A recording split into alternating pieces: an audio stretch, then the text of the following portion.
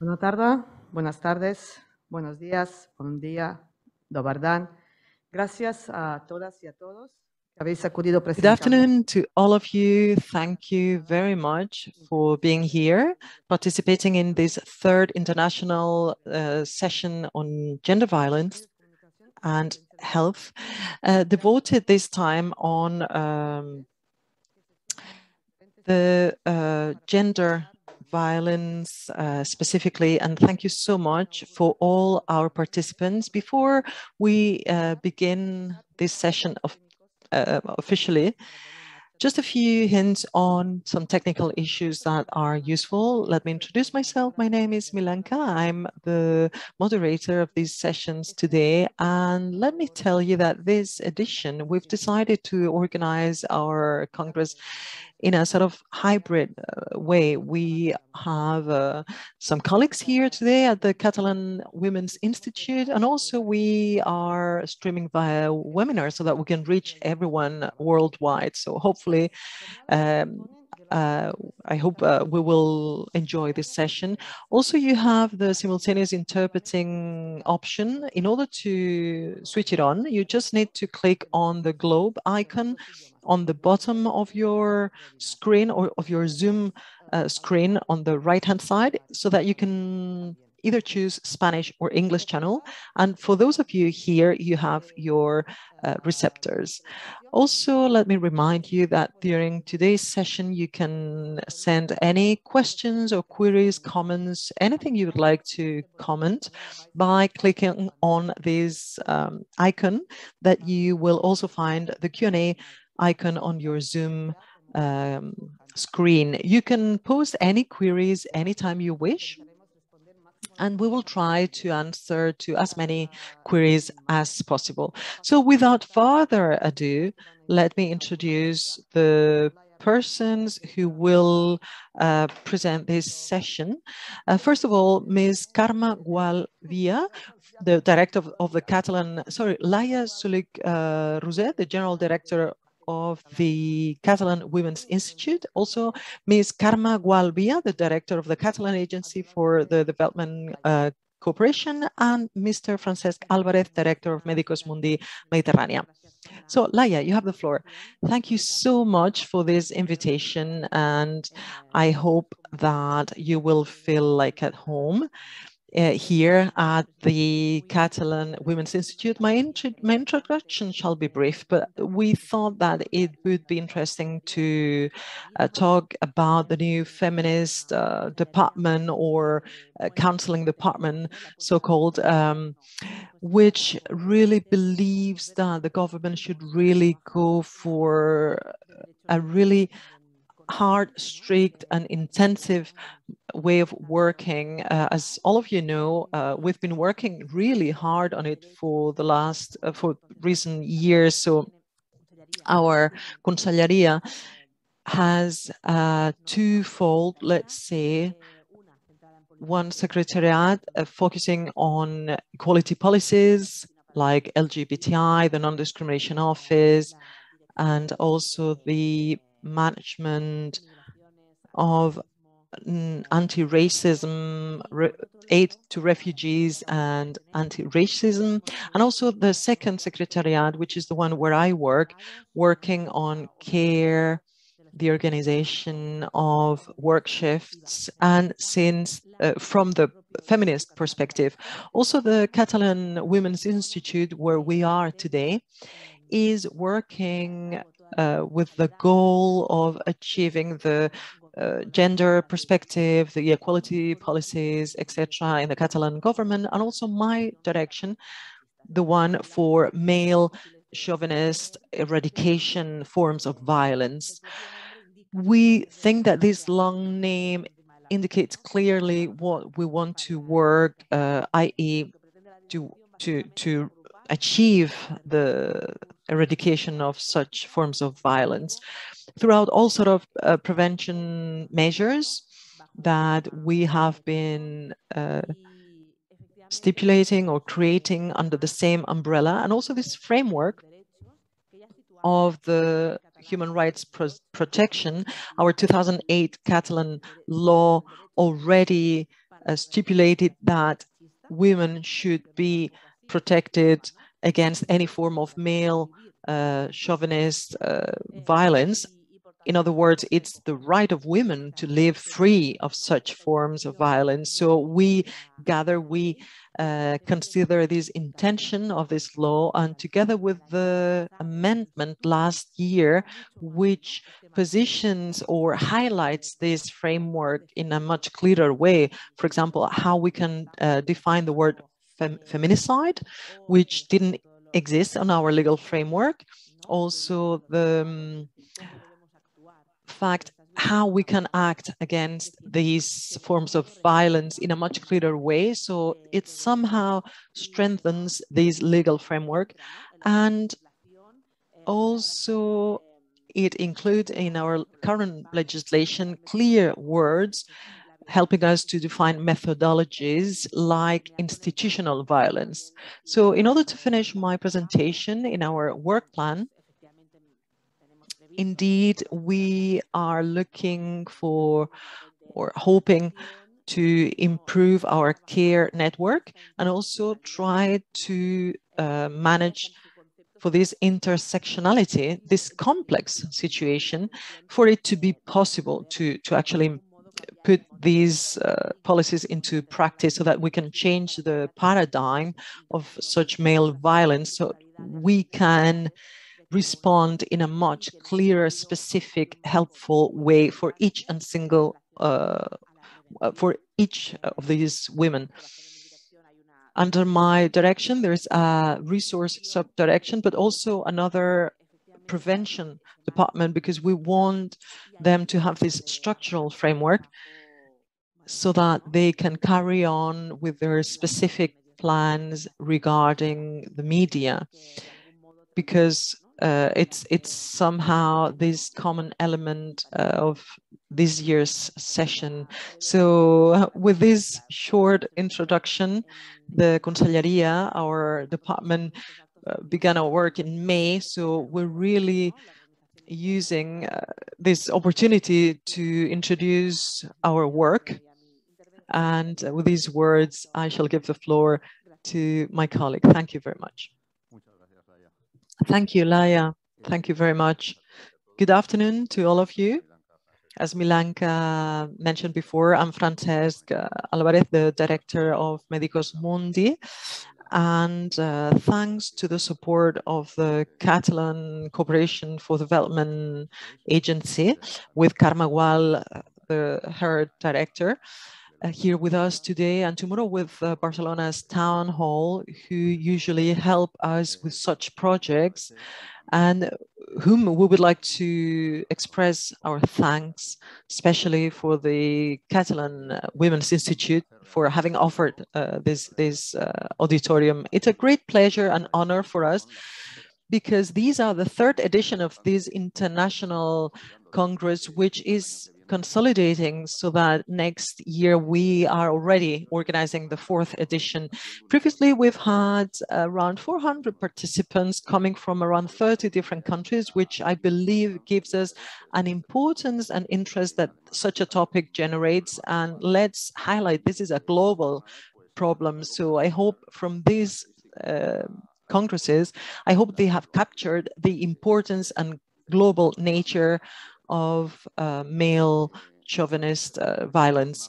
The specific topic of its, each session has been defined with our partners in other countries where we've been working. The first sessions had been devoted to the attention care uh, services to victims uh, copying or learning from the Barcelona model with regards to different countries. And the second year was devoted to political uh, incidents or actions together with the administrations in different countries, and also with the uh, possibilities of uh, insertion by these victims, these women, into the market labor.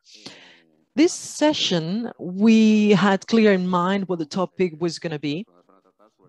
We're going to be talking about the role of women portrayed uh, in, in media in general. So it's really relevant the way the, the gender violence cases or equality between men and women is portrayed in radio, television, etc. This is vital in order to contribute contribute to either eradicate or um, actually make the situation even grow uh, bigger. We had realized that this was a huge problem. We have been working with journalist associations from different countries in order to help to uh, streamline uh, information, good quality information that helps eradicate uh, violence and that um, supports equality. And these sessions is also allowing us to work together with a network of local journalists. And we've realized that a, huge interest exists uh, with regards to this topic. And I can actually state that it's been a few decades that we've been worrying and doing research. We will understand it today, thanks to our speakers later on. And well, before I give the floor to my colleague Carme Gual, I would also like to thank uh, to the ICD and the town hall, also Milanka as our organizer and coordinator of these sessions, and to every single one uh, member of the staff of Medicus Mundi in Spain, in our Barcelona office, and the rest of countries in the world, together with our partners and our members uh, globally. Uh, thanks to whom we can carry carry on with our projects. So I hope you can enjoy these sessions. I hope they're really useful and help us uh, walk a step forward to eradicate uh, such forms of violence. So Carme, you have the floor. Thank you very much, Francesc.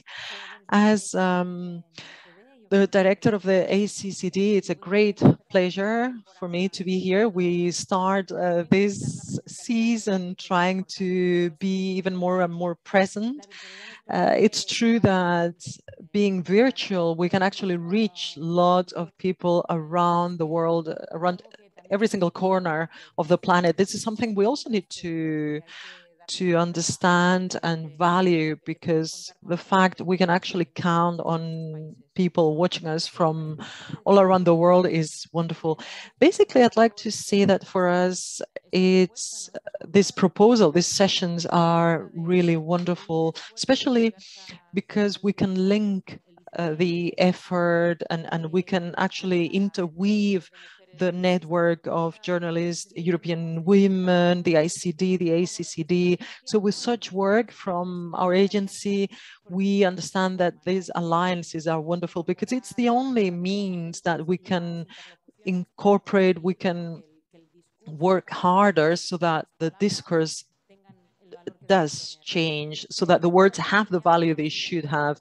Actually, yesterday we had a meeting with some ladies, some women who have have been here, helped or or cared for during six months, and I believe what we're going to be talking about journalism actually links with their stories. We were uh, actually the Catalan government and a transgender uh, human rights uh, gender was telling us about her case where she was involved in a in in a love affair, but actually we were talking about a killing of someone. So it's it's not a feminicide. Well, it was just a matter of uh, of just a love affair. You know, we, we're we're labeled as well. Trans people have too many partners. This message, actually being promiscuous or not, is actually on the media. And another activist, in this case from the Philippines, a lawyer, very respected, allegedly very respected, uh, lawyer, but the government is attacking. So lawyers defending activists are directly accused of being terrorists.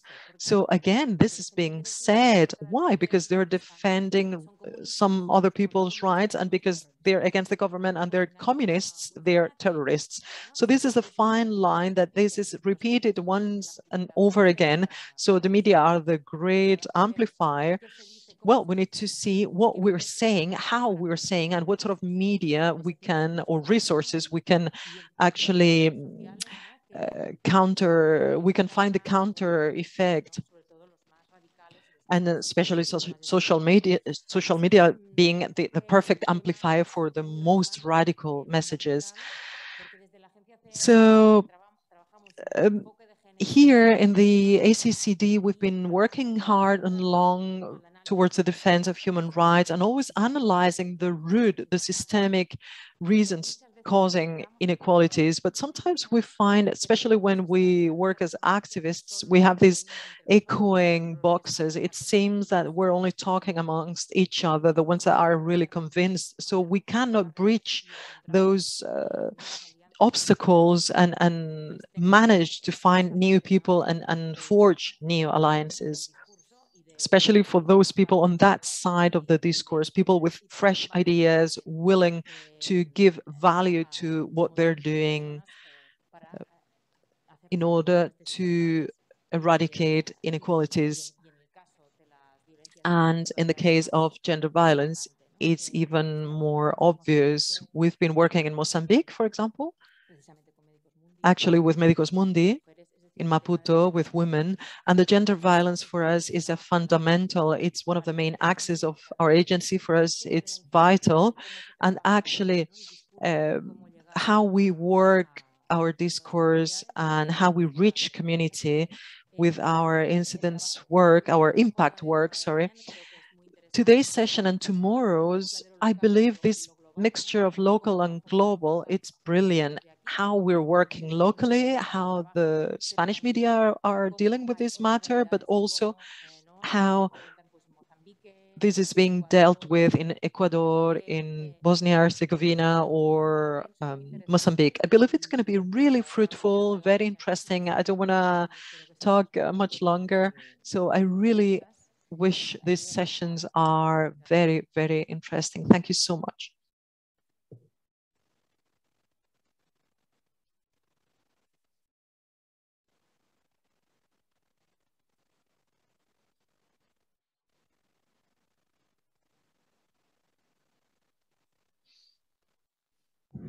Pues muchísimas gracias. Thank you very much to the three of you for your words and such a good introduction. Now you can uh, sit down again. Thank you very much. And in your place, we will have the pleasure to welcome Alicia Reyero, our first speaker. So if you wish, Alicia, you can sit here in the middle. Is that okay? Perfect. The most important thing is that you switch on the microphone. Okay.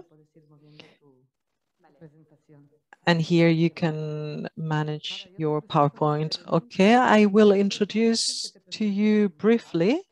It's always easier. Yeah, it's fine perfectly fine. Just one little detail. If I run out of time, please let me know. I haven't actually checked my time. Don't worry, I'm, I'll, I'm ready to whip. de las artes escénicas, directora del Comando Señoras, colectivo formado por una veintena de mujeres, cuyas creaciones escénicas y audio, audiovisuales reconstruyen la figura de la mujer en la ficción. Trabaja aplicando las artes escénicas con diferentes colectivos en riesgo de exclusión social durante más de 15 años. Mujeres víctimas de violencia machista, prisiones, centros de menores, campos de personas en busca de refugio, personas sin techo, entre otros. Es actriz de teatro, cine y de televisión, formadora de artes escénicas aplicadas y creadora del proyecto reconstruir la ficción. Yo creo que bastante bien, ¿no, Alicia? Yo he tenido la suerte de escucharte y la verdad que muy bien y con mucho gusto. Pues adelante con tu presentación. Muchas gracias. Muchas gracias. You have the floor. Thank you, thank you very much, Medicus Mundi and the Catalan Women's Institute. Thank you. I am so happy, so happy to be here, and most especially because in this way I can explain what my vision is or my reading is of the world and I can explain it to the world. Because, uh, well, it's good that I can tell you about my reading and my take of things as an actress and also a director, as a user, so to speak, is the way I got to these reflections, these thoughts as to how the representation of women in fiction, this affects women and it actually builds us as women in reality. So how do we build the collective imaginary? How do we go about these relations that are generated on the basis of images that we receive in through the media and the language that we listen to and, and read and I mean, this is the leitmotif, isn't it? The slogan, the topic of this seminar, and how violences are generated on the basis of this uh, representation, at least this projection that is done of our identities as women, the relationships, and the the in all society. And truly, this is what I wanted to talk about today. Here I have a summary, a little script I wrote. I didn't want to go away too much uh, from the topic. So fiction, the fiction that we consume is uh, immense. There are so many channels. We could talk about cinema, we could talk about television, but I decided to focus on the representation of women in advertising because I think advertising might be the, the medium that we most consume, although we don't want to, but we do calculations are, and I think it's staggering, but if we start thinking about it, we'll see it's right. The calculation is that every day we consume approximately 4,000 publicity inputs, 4,000. I started thinking and I thought, where, where from? How could this be? Well, I guess through social media, television, uh, different ads that you see kind of when you're driving a car and you see so many ads uh, in posters and you don't count, but that mounts up. And of course, this is actually building our imaginary. It is constructing our thought, and it does so in an, a totally silent, invisible way, in a very innocent way, in inverted commas, very perverse, in fact. So, without wanting to really, we start having loads of wishes and desires, and very possibly those don't even belong to us, these things that we wish for that we want to have. And at the, at the same time, this generates frustration, frustration that can become um, something that is eventually a violent act. It can happen easily. There are so many acts of violence, some are more evident than others. I'm going to go to the extreme, right? Go. I'm going to talk about feminicide, which is uh, one of mm, the things I like to listen to right now in the presentation. One can talk about feminicide. We can say feminicide. Yes, it exists. It's a reality. And what is it? The fact of mothering women for the fact of being women. That is what feminicide is. And it is so legitimated, so hidden in a way that it would seem it doesn't exist. So then to get this approximate approximation of advertising and feminicide, it seems to be an atrocity, but it's not. People would call me a kind of feminazi, yes, but that's not the case. And this is why I'm talking to you and what my presentation will be about. Okay, so let me go to the images I had prepared for you. This is uh, the introduction. Yes, well, let me give you images. Apology of femicide. And I'm going to the clearest image of all, which is this one of the most perverse mechanisms of advertising. It invades our emotional territories. And what advertising does is actually go directly to the emotional uh, domain, domain uh, to our daily lives, our needs. So is it always illegal to kill a woman? That is the question here. And this is a uh, publicity, it's advertising. So isn't it strange? In my case, personally, I don't know what the ad is about. I have no idea what the publicity is about. I could imagine, but there is indeed a joke there. And at the same time, there is total apology of semi of femicide. There, the option is being generated of killing a woman for something that this woman has done. We don't really know what it is, but uh, well, this woman has been placed in a, in a position of uh, well, the fact that she's kind of done it without uh, well, and and we are not told about the cause of the man's despair. He seems to be in a a, a, a kind of you know he looks he's mm, supplicating, asking, begging. So in a certain way here in this image, we are legitimating, we are justifying femicide. What about women as objects? Well, this is also one of the most perverse tools of patriarchy and capitalism to make a person non-human. And this legitimates, it automatically legitimates any kind of violence against this person that is against this woman, against women. And we're referring again to the universe of the emotional territory. It's incredible, isn't it? and I go back to the previous image, when you see a person humanized, as is the case here in this ad, yes, well, frankly, I mean, as a spectator, as a viewer, you adopt a position. And when this the humanity is taken, is subtracted away from a person, and this is done as well with groups of migrants, and because people talk about figures and not names, so then you are legitimating violence because you have dehumanized these groups of people. And here, well, the image of the carpet is, is just, it speaks for itself. It's just as graphic as the previous image I showed you of the ad. We're talking about an object. It's a, a head trodden on by a man's foot. And the message says, it's nice to have a women ornamenting the home. The image, well, I, I believe, I mean, all the images I'm using speak for themselves, don't they? So there are different uh, generational leaps. I mean, okay, the, people say, no, publicity has changed, it's not the same. Well, frankly, not, not all that much. The first image I gave you in my presentation is of the 60s, the one of the man justifying femicide. This one in color is much more recent. I don't know what year it belongs to, but uh, in the presentation, you have ads of 2020, that's last year. So that's yesterday. Yeah, and I'm sure that today, as as I speak, uh, similar contents are being generated.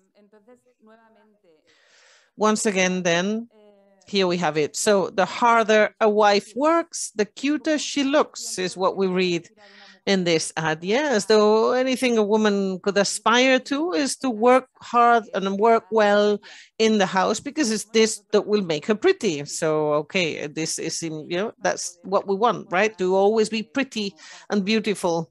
So to attract our man and be a kind of, well, uh, like a wardrobe or something to put things on us is, is the case of the other image and always with a naked uh, standard body. Now, the culture of rape and erotizing abuse. As we see, this image is really very similar to the one of the carpet, isn't it? It's practically the same regarding the composition. It's very, very similar, isn't it? But this one is, uh, well, there's a higher erotic content that they might go more unperceived. So it is uh, doubly perverse. It's more dangerous.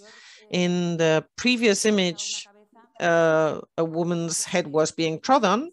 And here we see that it's the woman's neck that's being trod on the neck and the décolletage. Okay, that's got a lot of significance as well because what they're doing, she's being trodden, so she's losing her voice if we take into account the standard canons, she, well, the obedient woman, yes, that's being trodden, so she can't speak through her voice. She's pretty, she's well dressed, she's got lovely makeup, beautiful hair, but she doesn't have the possibility of speaking, and she's on the floor being trodden and it's also being made erotic there's a glamour there's beauty as happens in these images this um, famous ad of dolce gabbana i remember it was mm, really quite controversial it generated a lot of discussion and that in that way, we're also contributing, aren't we? It's yet another tool. You launch a um, publicity and advertising campaign that can generate reaction, that can generate discussion, and well, moral discussion, so make it very controversial because that way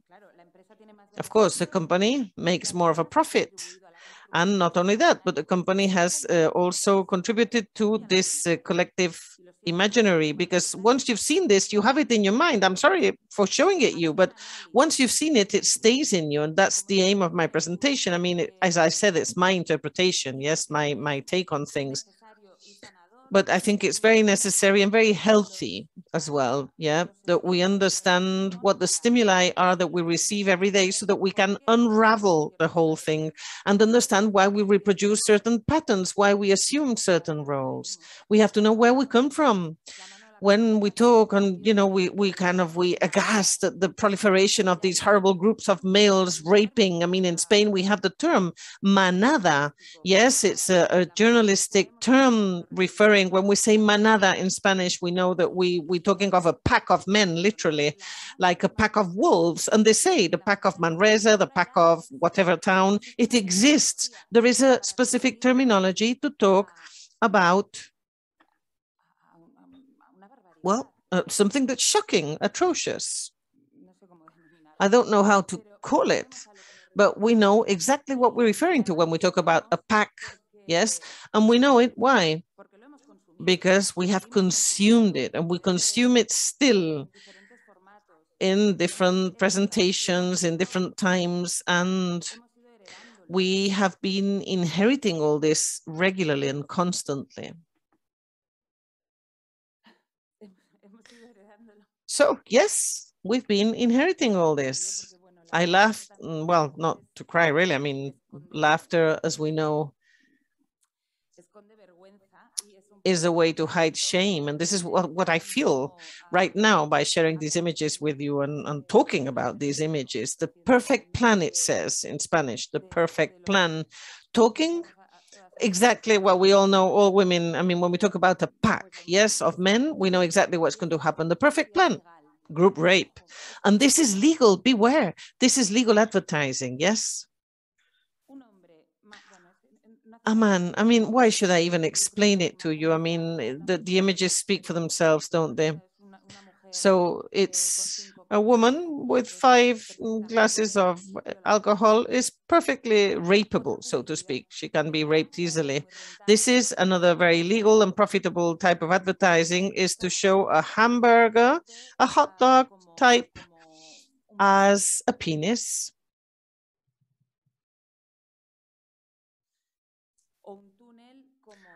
Or a tunnel like uh, women that can be penetrated. This is Axe the deodorant advertising. Well.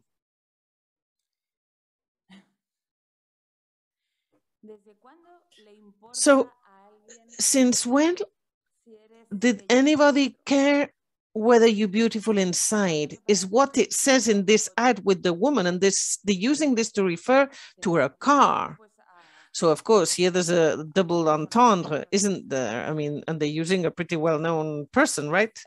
And this is the sentence. Since when did anybody care whether uh, you're beautiful inside? I mean, it's what I was telling you. It is just making women an object. So uh, when you dehumanize someone, you are legitimating any kind of abuse.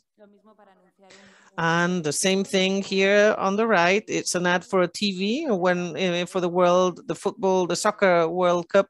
You have two women and it's a game, one of them racialized, by the way. Yes, and with, uh, you know, uh, those, uh, well, one of them with a Brazil t-shirt and pretty exuberant. Yes, and here there is a game, well, they're playing with words and they're referring to the frontal part that is, well, also mm, the Brazilian woman idea, but it says the sentence says you'll see the best frontals of the world.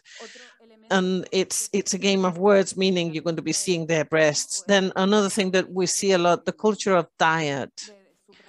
So this highlights the fact that being slim is one of our main aims as women, one of our vital goals.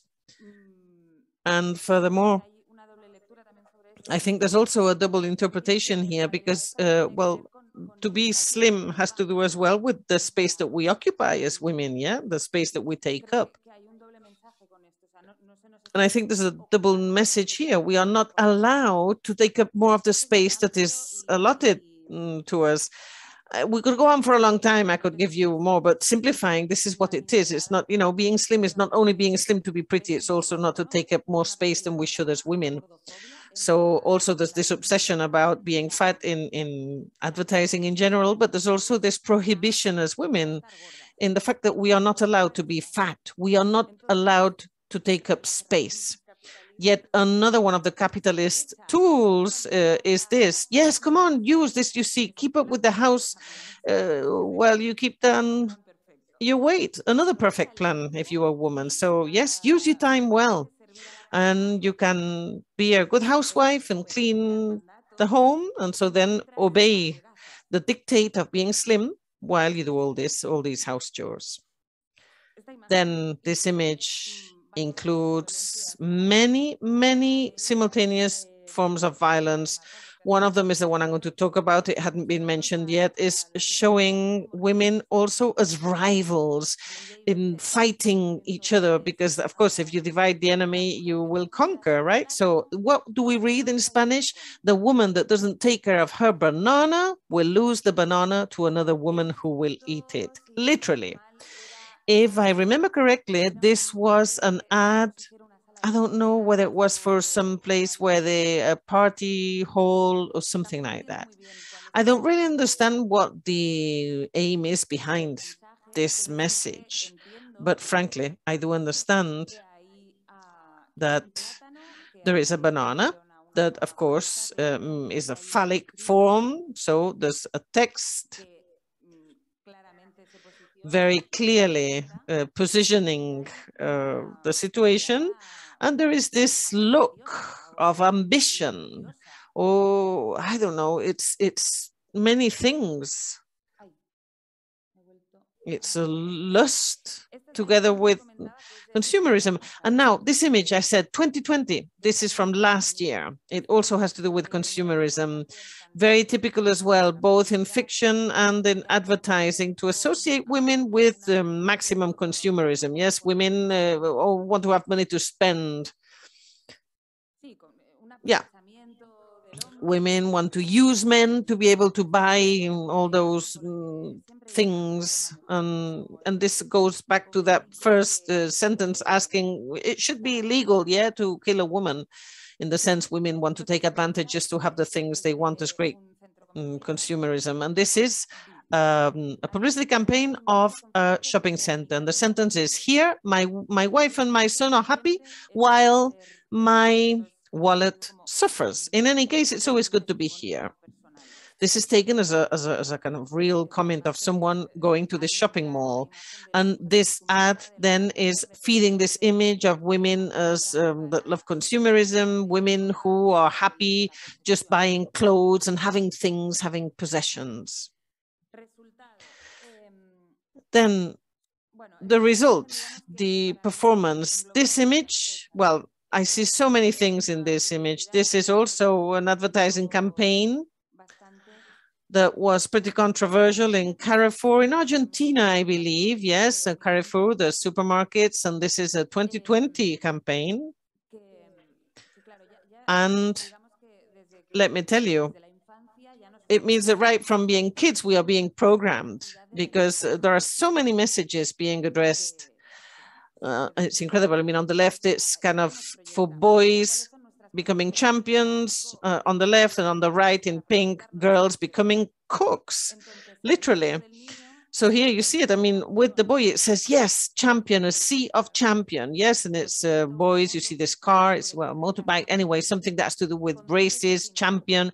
And then on the right, you see him pink with a sea of cook, not champion, right? And also pink, it all perpetuates the stereotype. And this really mm, evoked in me a sentence that really it summarizes everything that took me to start my project of reconstructing reconstructing fiction, which is you can be what you can you can't be what you can't see. Okay. And this is a sentence that they repeated a lot in a documentary film I recommend, which is Miss Representation, excellent documentary. And in, in this documentary, they talk precisely about the space of women in, in spaces of power in in different worlds in universities the world of politics you know where the kind of direction of the world takes place. So we as women cannot be something that we have not seen. We cannot project ourselves onto something we have not seen. And if we see ourselves as cooks well we project ourselves as cooks. If we see ourselves as princesses we project ourselves as princesses. And we tend to, well, project as women lying on the floor with a foot crushing our head. If we see this all the time, we eventually make this image romantic. So there's a kind of legitimation of this. It comes to us through all different channels everywhere, and we see it all the time. Where is this leading to? Well, everything is being is becoming very precarious. If we have less access to power, then if we live with this famous syndrome of being imposters, yeah, and when we reach a place uh, from which we can talk publicly and where we can have a discourse that has been created, well, we always feel guilty as women because it's very difficult for us to legitimate and justify this space and this power for ourselves if we are not used to it, if we've never seen it, if we've never had it before. There's a whole fight here and there's a huge work to be done. I mean, um, very often therapeutic, yes, but it's, one has to invest a lot of effort to be able to reach the spaces of power and this um, precariousness uh, in, in women leads towards, uh, well, more women poverty, more women dependency, and more being submissive as women. So what can we do? This I, I would like, well, I would like this to be the end of my presentation. What can we do? We should do away with the role of being victims from our imaginary. We should really eliminate that. It's essential to analyze where we come from as women, to get to know the past, analyze the present, and transform the present for the future. Yes, we have to transform the present, transform what we have through images, through words, words, images that we generate construct our thought, they construct our imaginary. So we urgently, urgently need different narratives, different narratives of women from different social contexts, women from different uh, ethnic groups, from different situations, different, different works uh, in life, we need also narratives of different masculinities. We need different narratives, full stop. Different people that don't feel identified either with the, this binary gender system. We just need diversity of relationships, of thoughts, diversity of references.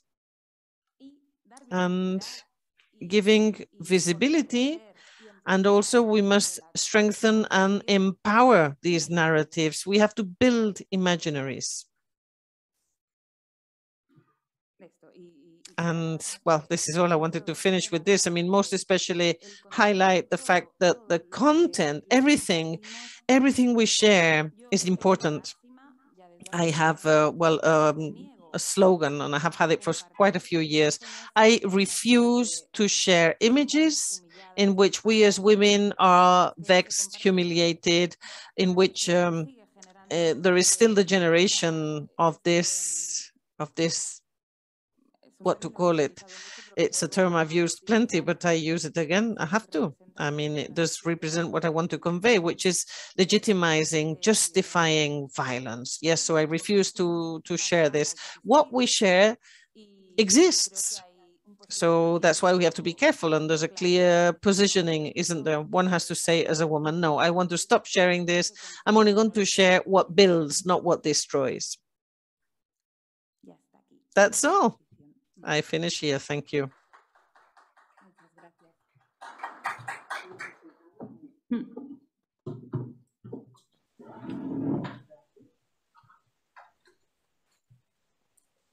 Muchas gracias, Alicia, por Thank you very much, Alicia, for your intervention.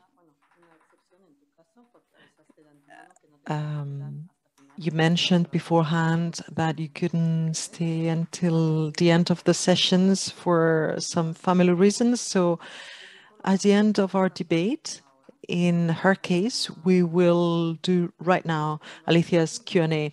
When I talked to you, I remembered that we were preparing this intervention. I was trying to convince you to come and we were talking uh, about um, our context. And I remember that there's a huge uh, lot of things we need to do, even the famous song, uh, the, the one I want to be dreamed or not even dreamed, um, this famous song, and, and it has a clear message.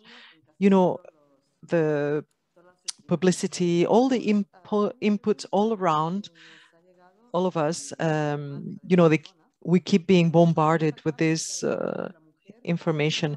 Mark from Barcelona says it's clear that the the role, the image of women has always been used uh, in publicity. We just need to watch any car ads.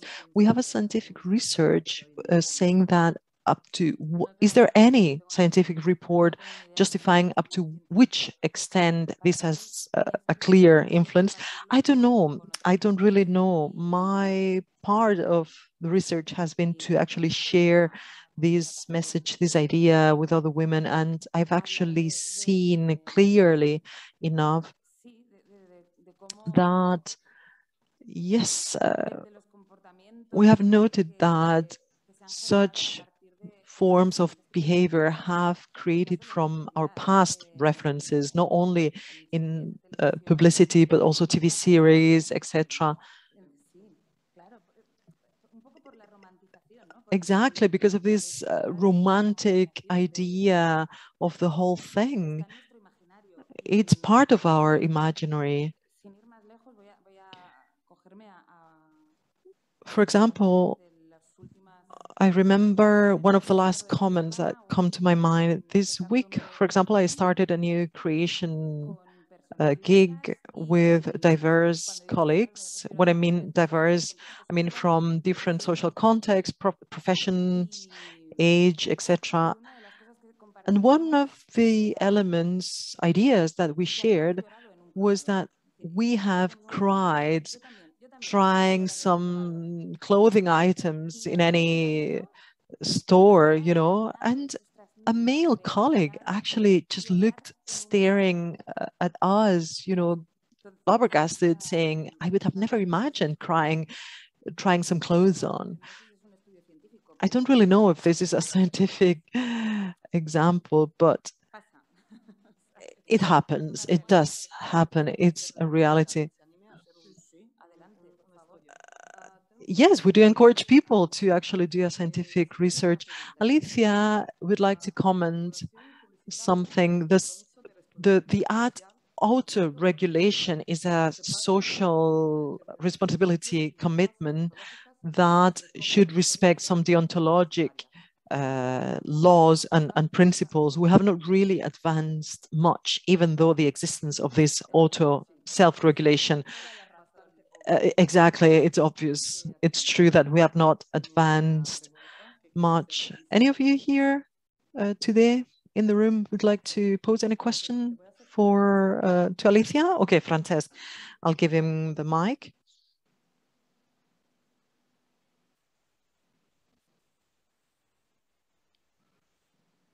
Eh, We've seen in your presentation a few examples of ads uh, from different decades uh, of the 20th or 21st century. Do you reckon that we have advanced? Have we seen any sort of improvement in the sense that the representation of women is less and less uh, humiliating or or is it not the case? Well, I believe yes, we are advancing. That's that's clearly the case. But at the moment, I believe that well, nobody would dare, and I say dare because maybe the intention, the actual desire would be there, but I believe no one would actually dare to film a publicity ad uh, as, as clear as the first one, the one of the 60s. Is it illegal to kill a woman? And I say I believe because I'm not really 100% sure, uh, because they wouldn't dare probably for the sort of repercussion that it could have. But I believe that someone would actually consider the possibility. Yes, we have advanced, it's true. I can't actually remember right now, but in order to select these items, it's been really hard because there are so many, it's unbelievable. So I just uh, took my pick and afterwards I could tidy up a little bit my ideas and I thought they do represent the basic uh, streamline of, of ideas I wanted to talk to, talk about. If I can't recall properly, in the 60s, there was also an example of an ad where you could see a man coming back home and actually battering, uh, hitting and harassing, humiliating his wife because his brandy was not ready. And this happened uh, 40 years ago. My mom and dad actually were consumers of, of this. It's a whole generation we're talking about. We're here, they're still alive. So I believe that the active responsibility of cutting that vital line, that that fact, it's vital because we are inheriting, we are coming directly from, from that moment. So we need to say, stop, that's it. Let's transform the messages we are um, stream streaming or there is obviously a commercial interest to assume, to accept such petitions. I'll be clear with you. This is my opinion. It's a way of being politically correct. What can actually reach and interest the most and can uh, awaken our emotional universe? For example, a racialized element or individuals, a Chinese woman, a black woman, okay, the quota's ready, let's go. And we're maybe advertising a product that is actually promoting slavery in, in half of, of the world. So, well, have we advanced? Maybe we've washed that, we've clean washed that first stage or that side of the coin, but not the other. Recently, also, I remember a friend of mine who's a film director and also uh, marketing expert, she published in one of her Instagram stories some conversations she had actually heard in some of her marketing or agency, publicity agencies um, uh, conversations. The criteria choosing an actress or an actor, it's absolutely horrendous what's being talked at the end of the day, I really hope there's an attitude of change because I believe, yeah, there's people working towards this change, but still, there is just a simple, quick face washing, just just out of interest. It's not genuine. We have some comments from Maria Cobos saying that regarding uh, humiliating publicity, at least some uh, some uh, examples like Versace's have been banned, or another one uh, from El Corte Inglés, social pressure and denounce are vitals. Marketing agencies will think, will rethink if they uh, publicize any examples of harassment. Obviously, they could be denounced. And Maria Jose Franco Moreno also tells us about her story. A few years ago, the path towards uh, university, I actually changed the road I took because I had to watch a lot of uh, clothing ad example that were actually affecting my self-esteem because uh, we're not really conscious, but it really does affect us. Now I only watch content that it's worthwhile and doesn't affect me. Thank you so much for sharing your your um, example. Marian Gutierrez, uh, this is the last one. Yes, there are still ads uh, doing uh, some homage of feminicide, uh, examples of uh, humiliation or etc. These last 10 years, we have not really advanced. We are more subtle now.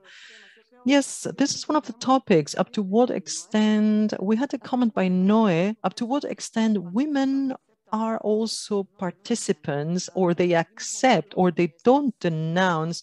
We are following these skinny ladies. I'm not being uh, disrespectful to anyone, but especially the skinny young girls, the ones, uh, you know, appearing in perfume ads or lingerie, etc.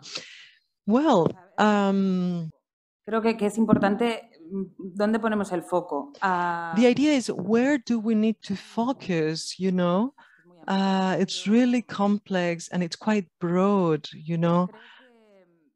How could I say it? Sorry, I'm going to use this disrespectful term, uh, the skinny, the skinny girl, because it's been normalized. It's part of our imaginary.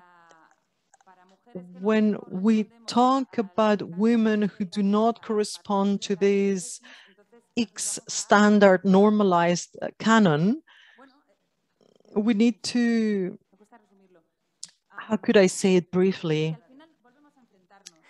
Again, we need to be an obstacle for each other again. We compare each other again, like your body is more uh, le legitimized or legal than mine. Well, every single woman's body is wonderful and they allow us to do what we do.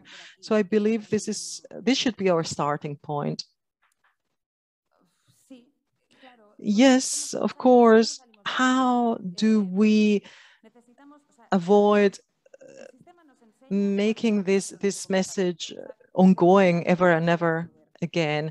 The the pat, the patriarchy says you can access power if you have such a body, if you have this lifestyle, if you're wearing such clothes, you might be able to access power because you respond to that uh, stereotype that the system accepts. So you might have some social, economic, political privileges, whatever. But if you disobey, you're portraying the clear message. You're against, you're a squatter, you're against the system. So you're labeled, you know? Of course, we are consuming, and then again, all this fast fashion and the false illusion that if you have more, you are richer or you have more clothes or you have more items of clothing to wear to change your status, you are more powerful. It's a double-sided uh, spade. Any more questions? Yeah, okay.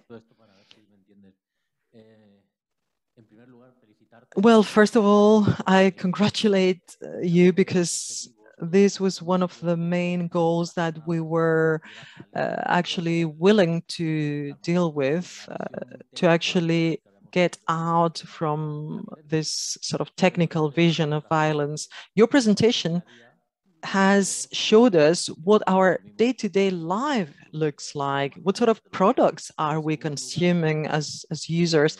And secondly, because even though during the session we will try to talk about how well the media is working these days uh, to talk about violence, the truth is that the background and one of the key issues is publicity. What's uh, actually uh, financing the media, they're still very aggressive. So well done. My question deals with how can we conjugate or mix these two streams or sides. On the one hand, the art, and on the other, your exhibition, your your words on where can we draw and set these limits in publicity, in advertising. Well, there are some organizations and institutions trying to control and filter uh, content out of violence. And, and we've realized that this is not the case. But again, uh, the freedom of expression and the artistic uh, creation you being part of the sector, how do you live? How do you accept it? How do you feel about it? I feel really, really badly.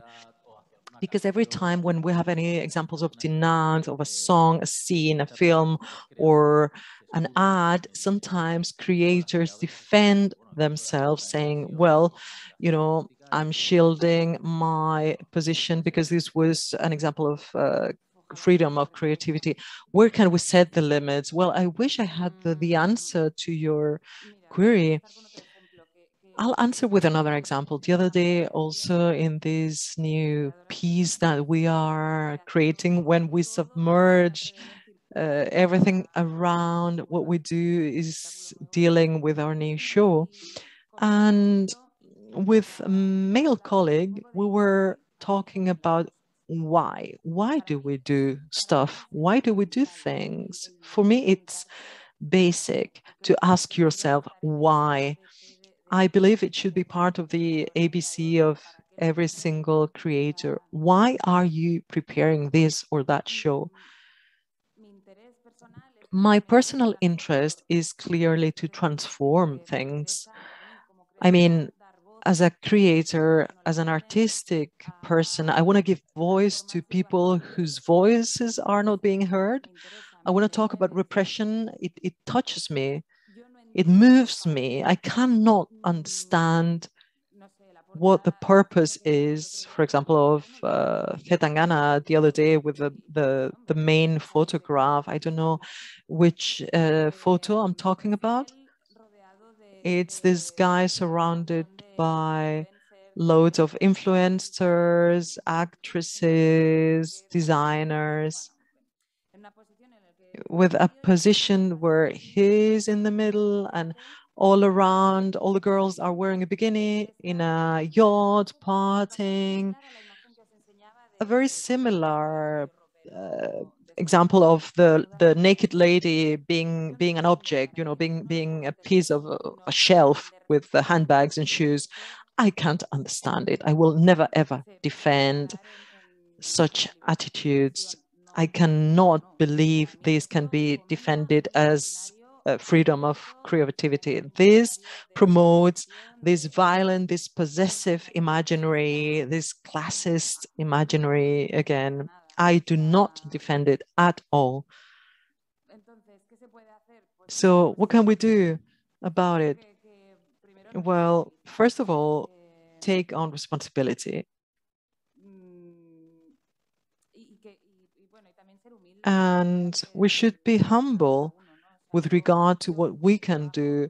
With my work, I decide to focus it towards this or that direction. If this speech today can be used to, for us to reflect on what's going on and what my if my creation my show helps people rethink their lives then i'm really really happy everyone is responsible for their thoughts and their work thank you so much alicia thank you very much for your time and uh, I know that you need to go. My child is ill. Yeah. It's hard combining work and family life. We know that. Thank you. Thank you so much. It's been wonderful to uh, have you here today. Thank you very much. Thank you.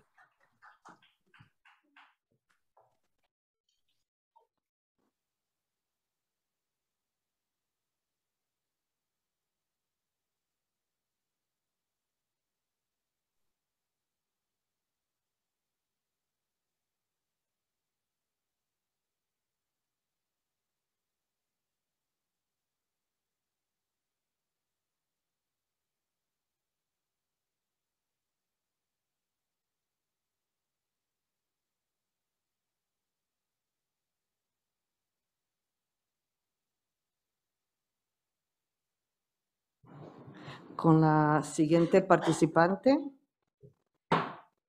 que mientras se instale, pues yo quizás la pueda. The next speaker, I'm going to introduce her, and we're talking about Ima Sanchez. She's a journalist, a writer, creator, and author of La Contra, of uh, the interviews in the Vanguardia newspaper. And she's also, well, it's been a section of the newspaper that's very famous. It's received many awards, and she's been interviewing many famous people all over the place. And she says, if you can't give hope, it's not worth our while to write. Before that, she was a reporter all over the world and covering social issues, especially. She's been a teacher at the International Catalan University. And for two seasons, she's had an interview program in the Catalan radio RAC1 channel. And in the COPE, she's published a number of books and uh, stories and she was selected as one of the top 100 women leaders in Spain 2018. Welcome, welcome, Ima, you have the floor. Good afternoon. It's a great pleasure to be here. Gender violence and media. Well, there are things that we don't need to repeat. We all know that violence against women from uh, men, it's something that is part of our society at all levels. It's just the way it is. Even at the government level, who should be protecting each and single one of their citizens, there's some sort of breach. I'm not uh, um, saying that people are guilty or not, but we see that, well, women don't enjoy the same salaries. There's this sort of bias that uh, impedes that women, not only in this so-called first world, but all around the world, women are treated uh, not like human beings. I'm not kidding. I imagine you are well informed. But in this first world where we live, the difference is just brutal because uh, little girls in India are being forced to get married uh, at age nine. In other places are even sold. I remember once I interviewed an Arab woman who said, I saw, I was impressed, I saw how my mom, as she was having a baby, if she had a baby girl, she actually stroked and killed that baby girl. So these are things that go far, far beyond.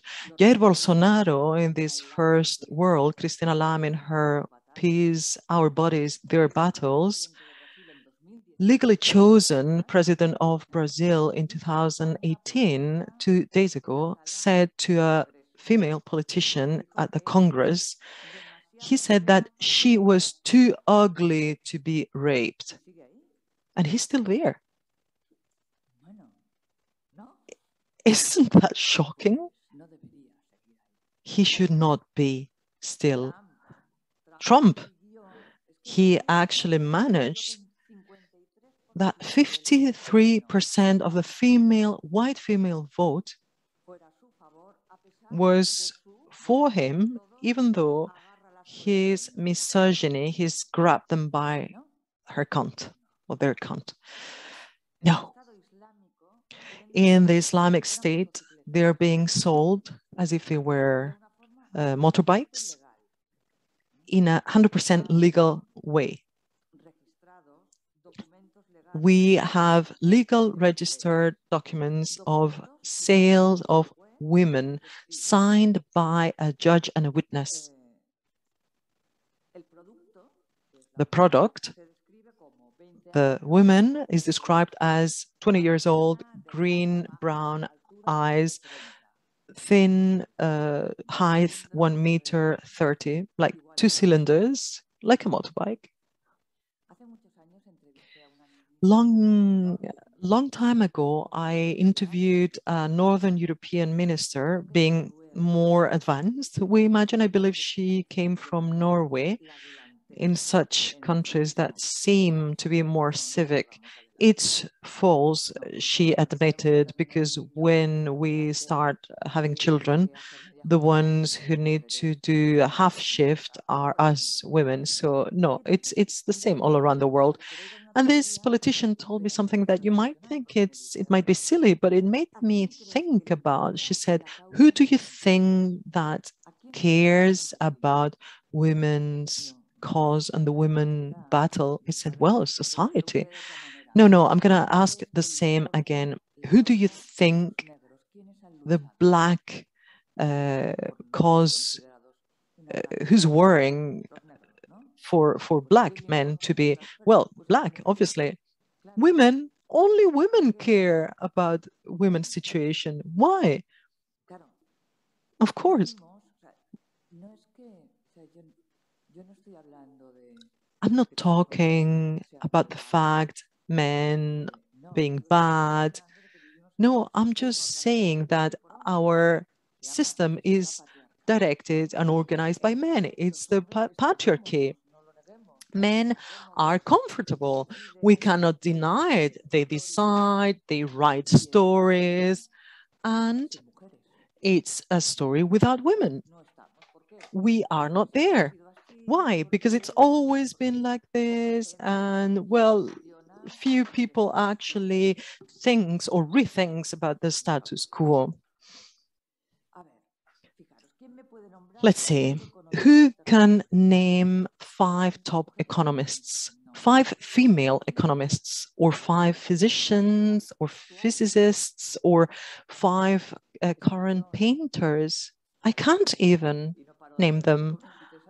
And I've been, uh, for 23 years, I've been doing interviews, five Nobel Prizes, I've actually interviewed some astrophysicists and, and some other chemists, five chefs, when we were supposed to spend all our life in the kitchen.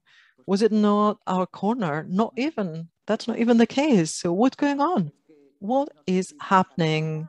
We're totally useless? What's the matter here? Because you guys see there's a problem. It's an issue of valuing, of recognizing. As I said, I have been doing interviews for 23 years in La Contra. There are thousands of women. I've met amazing women.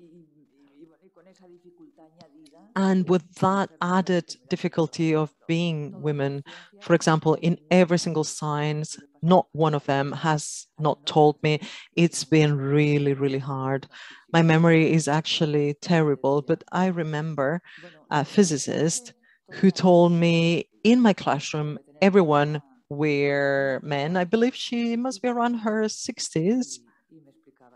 And she told me when I was a student, we had some workshops and with my working group, as I was the only girl, of course, I had to work with three other students. I remember telling them what my conclusions were. And when I turned around, they, they had gone. So it's really, really hard to battle in such a men's world. But there are amazing women around who actually achieve incredible things. As a journalist, I want them to be known. I want them to, to be applauded because victimism is uh, actually useless. So what can we do? I wouldn't say fight, but we need to carry on, continue, debate, recognize. This is what we need to do.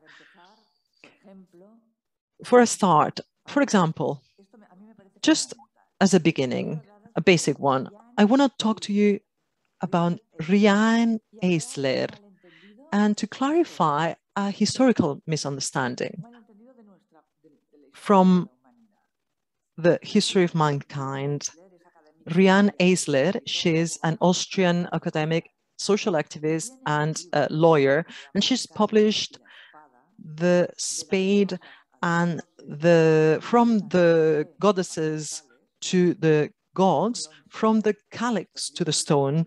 It's it's a must read. It's one of these books that's always been on the first positions of the top 10. And in this work, based on archaeological archaeological, historical, and um, genetic evidences, she proves that the great part of our history as a species, societies didn't live in a constant battle, fighting, competing, and suffering this male dominance, uh, this image of the prehistoric man with uh, a stake or actually pulling uh, his wife by her mane or her hair. In other words, 95% of the history of mankind, we have been living in peace, in harmony. It is not true that we faced against others and we, we started fighting. It has been scientifically proven that it wasn't the case. We are a mixture of Homo sapiens and the other one, Neanderthal. Neanderthal. It's not the case that Homo sapiens actually killed Neanderthal. They, they actually mixed and, and uh, bred uh, together. So during these, throughout these years of our history, we have lived in the participation and inclusion with each other. And I think this is really nice. We didn't actually stand up in order to hunt with our uh, weapons. No, we wanted to harvest fruits from the trees. And the first tools we had were actually baskets in order to um, to stock our fruit. And from time to time, we actually hunted. But basically, our food were roots, insects, vegetables, fruits, whatever we could harvest and, and pick up in the forest. In this participatory and, and time of inclusion during uh, centuries, we adored a goddess. And this goddess actually represented creation, primitive men and women saw that things and, and animals uh, were born, they grew, and they died in a perpetuous cycle, and that the universe created the stars. So, logically, for them, creation and this uh, creation goddess was a feminine uh, being. And for centuries and centuries, women were uh, worshipped. So it's only been a very short period of our history that we are, have been living humiliated by patriarchy. This is the, the beauty of it. It's not the case that we are like this. No, it's not in our nature to be violent and to look for confrontation. 10% of our time as a species, yes, but not 90 or 95 throughout our time. And this, there are thousands of studies. If you're interested, you'll find all the scientific references to other research. For example, burials of uh, caciques or leaders, local leaders. This actually happens once after uh, men and women being settled because bar barbars, barbarians from the north living in deserts, etc., they actually imposed throughout history uh, against the first uh, other chieftains from other settlements. For example, where iron was actually melted, it was used for agricultural tools, never to build uh, the, the, the arrows it was actually the ones coming afterwards who used the arrows and who imposed the end of uh, the goddess worshipping and who started killing other chieftains and who asked to be buried with a head of a horse with children and, and women also buried with them. So this barbarian uh, attitude, this, this close-mindedness actually caused us uh, to live less, to actually be 10 centimeters shorter.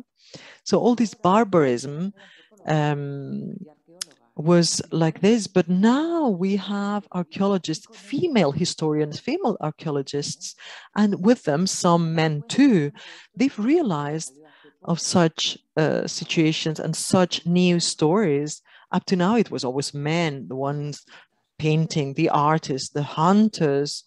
What, uh, what did we do during pre prehistory? Maybe we were hiding under a cabbage. I mean, no,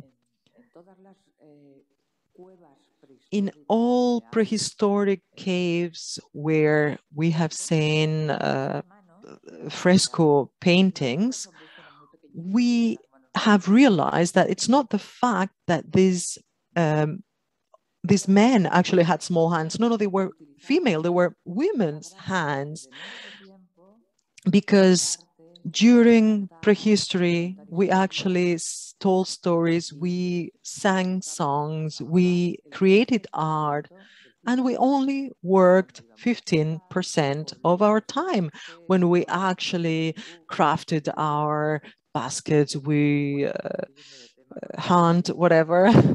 Sorry, let's stop talking about these fresco paintings. It's, it's really an amazing topic. During these 23 years, I have mm, hundreds of wonderful examples of women who have been able to overcome difficulties, who have not abandoned themselves, who have not said, this is the way things are, there's nothing I can do, and uh, man is a, a wolf for a man. And I could be telling you thousands of stories and amazing lives of everyday life and common women, just normal women who have actually had a single thought and have been able to uh, overcome their difficulties. Let's remember that we have been able to vote just for a few years. We were not allowed to go to universities, even if we wanted. And during the First World War, there were surgeon women, amazing women, who were not accepted and they just, this happened in London. It was actually the best hospital in London during the First World War. They actually proved that their techniques and this hospital was attended and coordinated 100% by women.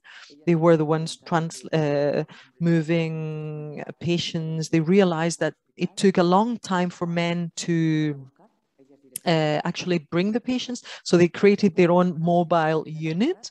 This pragmatism that is so uh, common in women. So it was a true example. And what happened? It was closed. And after the Second World War, they said, no, no, no, women, you cannot access university. That's only for men. Again, the same bloody story. Why? I don't know. I don't know. I need to interview someone else again to understand what is going on. What is the matter, the background problem, apart from habit? I, I don't understand it it has been proven and it hasn't been published, it hasn't been written. We don't have examples of female artists. I can remember recently, last week, yes, I remember reading that behind a well-known design furniture, furniture, sorry, brand from back in the 70s or 50s, everything, absolutely every single member in that company were women. There was one single visible uh, representative who was a man, but the rest were uh, women. I would like to tell you about uh, Stella Carlotto. I don't know if you know her. Stella Carlotto was When I met her, she was the president of the grannies, the Plaza de Mayo uh, grandmothers, the ones in Argentina searching for their disappeared uh, grandchildren. This is an NGO founded in 1977 in order to track those missing children during the military dictatorship. They were grandmothers between 65 and almost 80 years old, most of them working at home, housewives, but fed up for uh, the government, nobody doing nothing. So they said, let's get on our skates, let's do something ourselves. And I remember the title of that interview. It read, old as we are, we've managed to put more than one in prison. Yes, they get organized and they go organized, sorry. And Estela Carlotto, I remember when I talked to her, she came and five more. We were in a room, uh, five other grannies. And I remember that Stella was telling her about her daughter being imprisoned and killed. And it was very moving and the other ones were crying but i thought hey you know the story but they said well every single time it, it really touches it of course it does they would arrive grandmothers saying well yes my grandson my granddaughter's also disappeared but i don't know how to do anything about it this is also very very kind of woman thing to do what do you mean you don't know how to do anything. Haven't you been cooking all your life? Yeah. Oh, I bake fantastic cakes. Okay, well, you bake the cakes at the meetings. And then other women would go and talk to the military with no nerves whatsoever, without this kind of fashionable thing of, no, I'm so offended, I'll just stand up and leave. No, I mean, this is what our politicians do. I mean, they, they get offended immediately, the drop of a hat, and they, they get up and they leave. Listen, I'm sorry, you can't do that. You're representing me, right? So stay there, stay there and face the music. So what's what's that's what they did. They stayed. Yeah, one cannot just get up and go. And these women never uh, got up and left. They stayed there and they they fought for what they believed. Another woman I can talk about Debbie Lerma.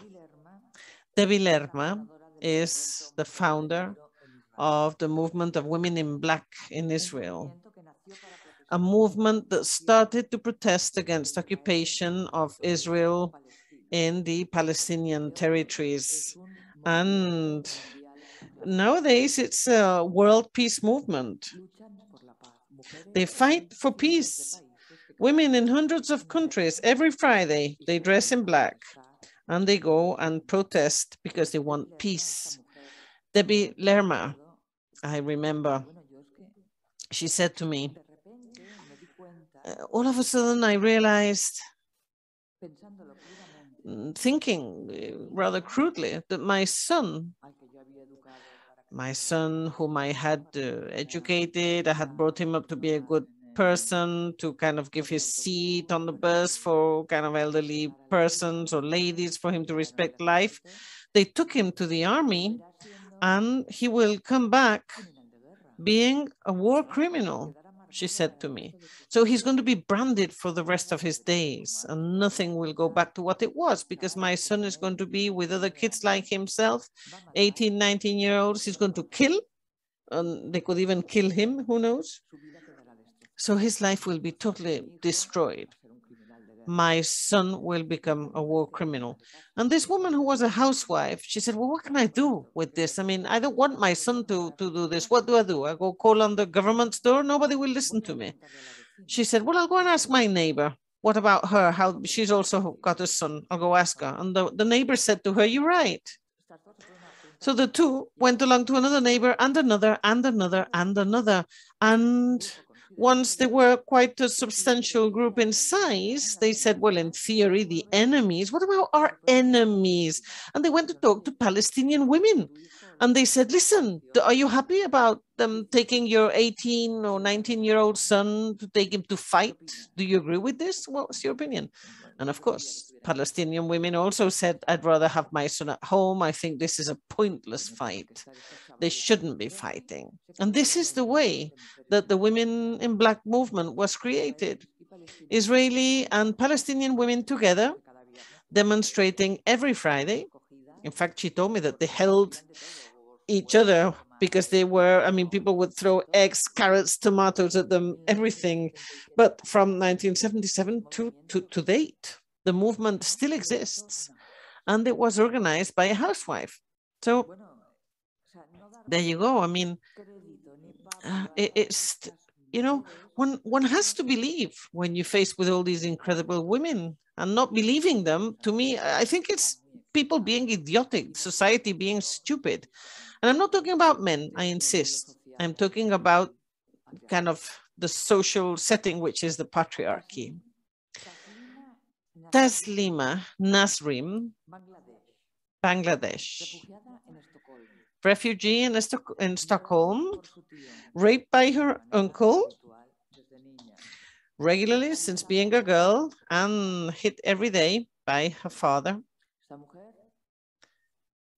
This woman started to write. She started writing her story.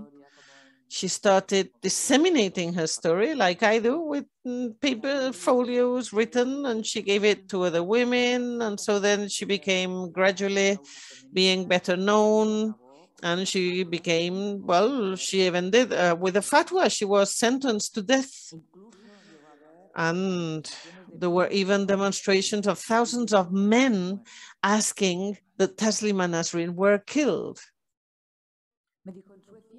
And she said to me, in Sweden, I'm on my own. When, since the day I got to Sweden, I'm on my own. I live on my own with my cat. I'm all alone.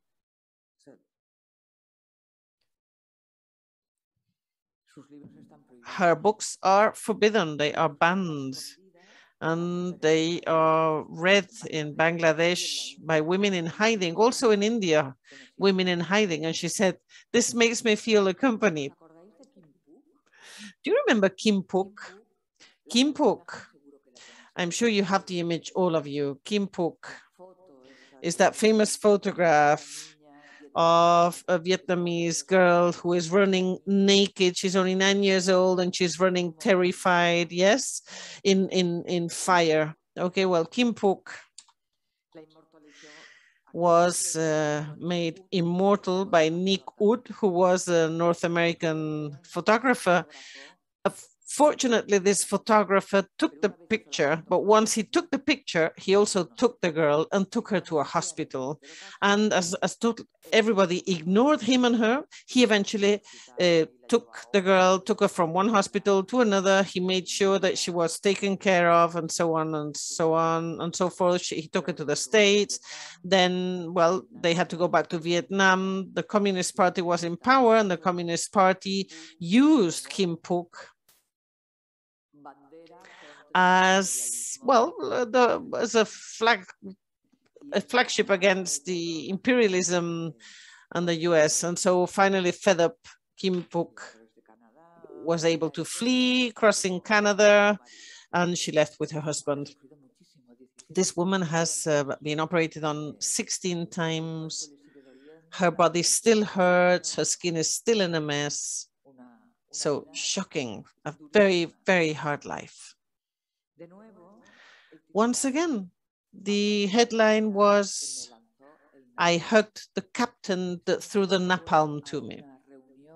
This woman went to a meeting of ex-fighters and military and well this general i can't remember his name this this captain i can't remember his name was there and this man when he saw the photographs of Nick Ut and he saw this girl and so on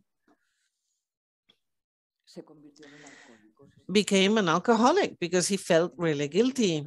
And in this meeting of ex-military and ex-fighters, he was actually giving a presentation um, saying, well, he felt this guilt and that he drank and, well, he was speaking. And in those moments, Kim Phuc had, was there. She was there at the presentation. Nobody had invited her. She went up onto the stage. She looked at the captain and she said, I am that nine-year-old napalm girl. And she hugged him.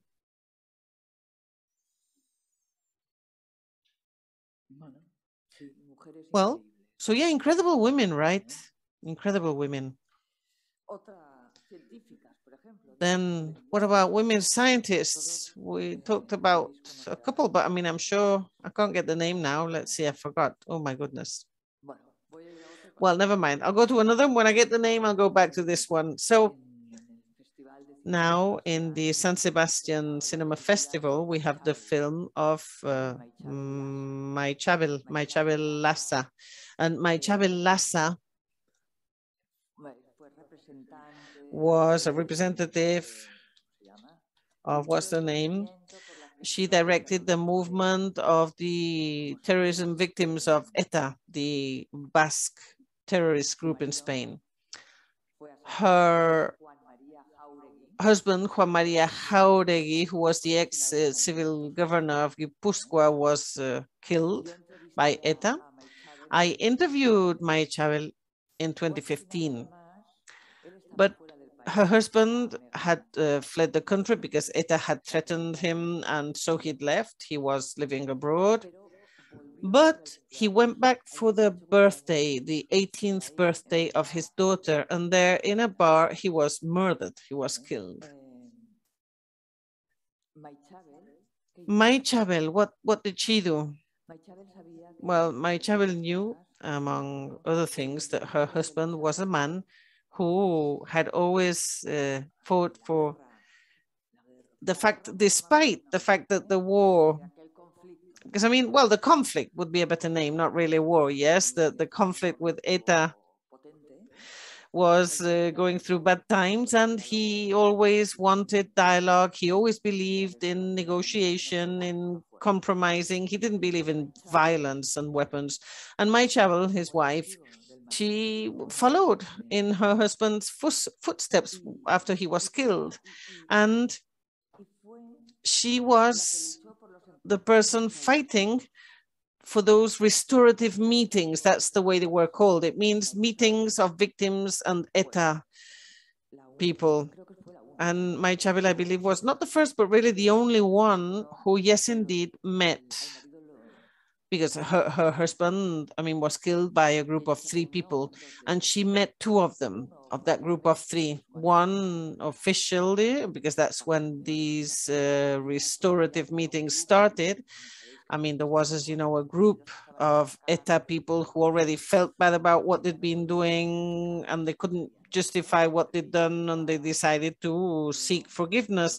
Amongst them was one of the ones that killed her husband? Well, she, she met with, with one and another, both, and obviously she, well, mm, they didn't really talk about politics, but rather they talked from the heart. And she asked them all, she said, why, why, why do you do this? Why kill? And they said to her, well, we receive an order, a command, we are soldiers and we do what we told to do. But of course, they had, these men had already changed, yes. And the headline for the interview is, I always believed in second chances. But of course, can you see what an incredible, what an admirable ability, or I don't know, maybe women, and I don't know if this will be the case forever, but up till now, maybe because we have been kind of living more in inside worlds because of social pressure yes. We women could not really go out of our homes so easily. We were not allowed in taverns. We couldn't vote. We had to be at home and so on and so forth. I mean this happened at the beginning of the 20th century. It's not didn't happen all that long ago yeah? I mean it's still happening too. But anyway it's not something in the past past. But maybe because we've been in this interior world this is the way we are. And there is a greater vision from inside. And that uh, makes us or allows us to take maybe different, uh, more encompassing standpoints. But I have already always believed in second chances. This is what Mabel told me. Before I was telling you, I wanted to talk about scientist women. Lynn Margulis, Lynn Margulis showed that cells, the first cells, the, the, the, first, the very first cells evolved because they cooperated with each other. They wouldn't, you know, eat each other up on, on, on which is a bit the, the, the story that we have been hearing and telling for so long. But life is not that. It's not eating up the other. It's not killing the other. It's cooperation. And Lynn Margulis said this exactly. She said, listen, you all wrong. Cells started cooperating and they started coming together. They didn't start eating each other up because nothing would exist. Cells started cooperating and then life began thanks to the cooperation of cells and we make headway and we evolve thanks to cooperation. Well, listen, Lynn Margulis, she was very, very funny, had a great sense of humor. I remember when I interviewed her, uh, I, I said, well, I'm sure that you defended a theory that's mm, kind of, you were the only person to defend this theory, I said to her and let me tell you, finally, she was able to prove it scientifically. And I said to her, how have your colleagues reacted to your success? When I'm, I go on for too long, let me know. No, I've tried to be very discreet, but Ima, we're not doing very well about time at all. So, mm, well, I mean, try to end if possible. Yes, yes, I will, I will. Yeah, we're 15 minutes late, I'm afraid. Gosh, I'm so sorry, yeah. Sorry yeah, the audience, I mean, this is normal. It happens, you know, with so many things to say. I have more, more. I could tell you much more. Anyway, what I, what I'm trying to say, this is an anecdote. I said to her, to Lynn Margulis, I said, I guess that defending this theory of cooperation against the scientific uh, status quo, yes, and that has this idea of permanent war and fighting, has gone against you. And she said, listen, I have been in scientific conferences explaining my theory, and a scientist man colleague has stood up to say to me, why don't you go home and do the washing? And this is what she said, but we're still living in this kind of world. Obviously, there are men that are not this way, but there are men who are. And we live in a world in which we are missing out I mean, half the population is missing out, and this has to change. It has to change. And in fact, there is more and more evidence as to the fact that there's another way to live. Before I was telling you about, about these uh, anthropological discoveries, right? I mean, the way we see life and the world is so important. That woman, I can't remember her name, I gave it you before, yeah? The one of goddesses, yes. Anyway, eh, she was saying to me that anthropologists would find just about everywhere little figures of women shapes with a huge vulva, and those were the figures of the goddesses. And what did the anthropologists who found these figures call them? Prehistoric sexual toys. Come on. All the frescoes, in all the frescoes, you see symbols that they define as non-determined signs and symbols. Still, women archaeologists and women, women anthropologists came along and said, no, no, these are not just non-specific symbols, these are vaginas. Finally, and I promise I, I, will finish. I mean, I have so many things to tell you, but I'll, I'll end it here. Just one. Let me mention a woman. Let me find her. Who, her name is, where do I have her? Wait a minute. Yes. Oh, where is she? Where is she? Well, Annabella. Yeah. Annabella is a woman who suffered because her husband would hit her. She had problems. It was shocking. And right now, she's a woman who's been awarded many, many prizes and um, uh, she created a kind of tenderness network because what she said is women who are victims of abuse need to be welcomed into a network of sorority. And what she did was create a women's network that welcomed uh, women victims of abuse. Yeah, so they would help each other. They would take these women to their homes and look after them. And this woman, Ana Bella, said, if one out of every three women is a victim of abuse in the world, the idea is not to say poor things, but rather that one of every three men is crazy and he hits, humiliates, and abuses a person he says he loves. We have to change the focus. That is, we have to move on from all this uh, victimism and we have to go on to acknowledgement and action. Okay, that's all. Thank you. Thank you very much, Ima. I would like to remind you and our public, our participants, that at the end, we will have a Q&A session. So you will also have the chance of answering to uh, or, or adding some other interesting story. Righty, now we will enjoy a short 15 minute long pause, but before that, I will introduce you to Ainara Garcia, who's a wonderful artist. I would like her to introduce herself because I don't want to um, say anything wrong. We will uh, give her the floor.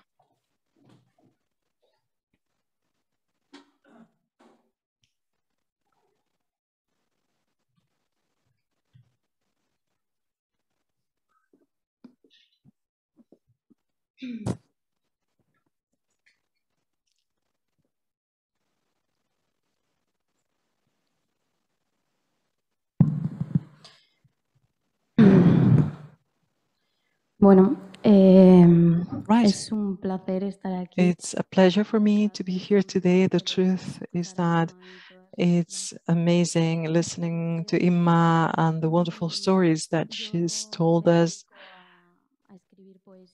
I write poetry. I do slam, the spoken word uh, competition events. Uh, this is what slam means. And today I have a few poems for you. This is what I do.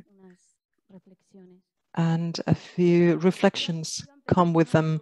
I would like to start with another one, but Ima reminded me all that, uh, thanks to what she said, one called, a poem called My Little Girl, which talks about this space uh, where the women uh, have been recluded, the only potential, on, only the only possible place where she's recluded as a slave or as a muse. It also talks about my grandma, who was a lady who would have been able to do whatever she wanted in life. She loved art and music, but she was, as all of them, a housewife. In the afternoon, I used to go there one afternoon, and one of them, one of the last times I actually saw her, she reached by my ear and she told me, My little girl, tus dedos de nácar sobre mi regazo. let me and give me your pearl fingers on my lap. I can't stand any else, anything else but a flower. Hurry up, for my face is worn out and time is withering at its roots. Sit next to this body ground down by the years, this body that permeates home and oozes confinement. And Look at me, light up these black ear, these black eyes, leave the paintings and listen to me, my child. I know you want to be an artist, but haven't you seen your grandmother's sad hands, her chest swollen by the rain, the wrinkles on her neck and her chains? My child, if my heart is already a clay Christ and my only work is this house and those who walked on it, let your mother of pearl fingers fall, that we were always the muse like so many others who cried. My body was naked before your eyes, a painting, and for centuries they've made of this skin pose, fruit, and damage. They also sculpted my kisses and my embraces. I was the end of the chisel, dust of tin. I was still before so many eyes, silent before so many frames who had me for a muse as the only trade, and almost dead when I didn't try. I was the verse and not the signature. I was the voice and not the artist. I was the brushstroke the word and the edge. They sang to me, they wrote to me, they sculpted me and even cried for me. The brush was exchanged for the scoring pad. My voice was forced to be a lullaby and to my arms the care. My child, don't you see that this house has a sad murmur of broken dreams, that I don't have these calluses for love, nor this wound, that this will is not mine, that if I would like to be painting the white fall of your caress, but out there, the world always cries out another song, my child, I don't want you, I don't want you to die like me and so many others who cried. That day, I gave up painting and I didn't know what else to say, but a couple of years afterwards, I could then tell her, Grandma, now that I've grown up, I could tell you that we were not, not all of us cried. We were not always the muse. Maybe the earth has, uh, they were artists like you. Because I saw in your eyes the pain of Sylvia, Virginia. I've touched uh, the, the, the, the impressionistic color of Cassatt. I've seen you sculpt and embrace like Camille, raise the spider like Louise, and whisper like we choked for Chavela. You recited me like Gloria, and I carry her lullaby almost to sleep. You've made the routine a daily basement like Anna, and you've been silent like Marilyn. I know that you've imagined so many films like Agnes, Lucrecia, or Alice to find in evasion the strength and not the rope. I remember you and I cry like Storni, and I almost scream like Lola because I've seen you move with the rage of a Maya until the last years they you like so many others did, because we weren't always muses, grandma, nor did we always cry. They were artists, as you were, grandma, as you were, as I will be when you finally see me by your side. Thank you. Thank you very much.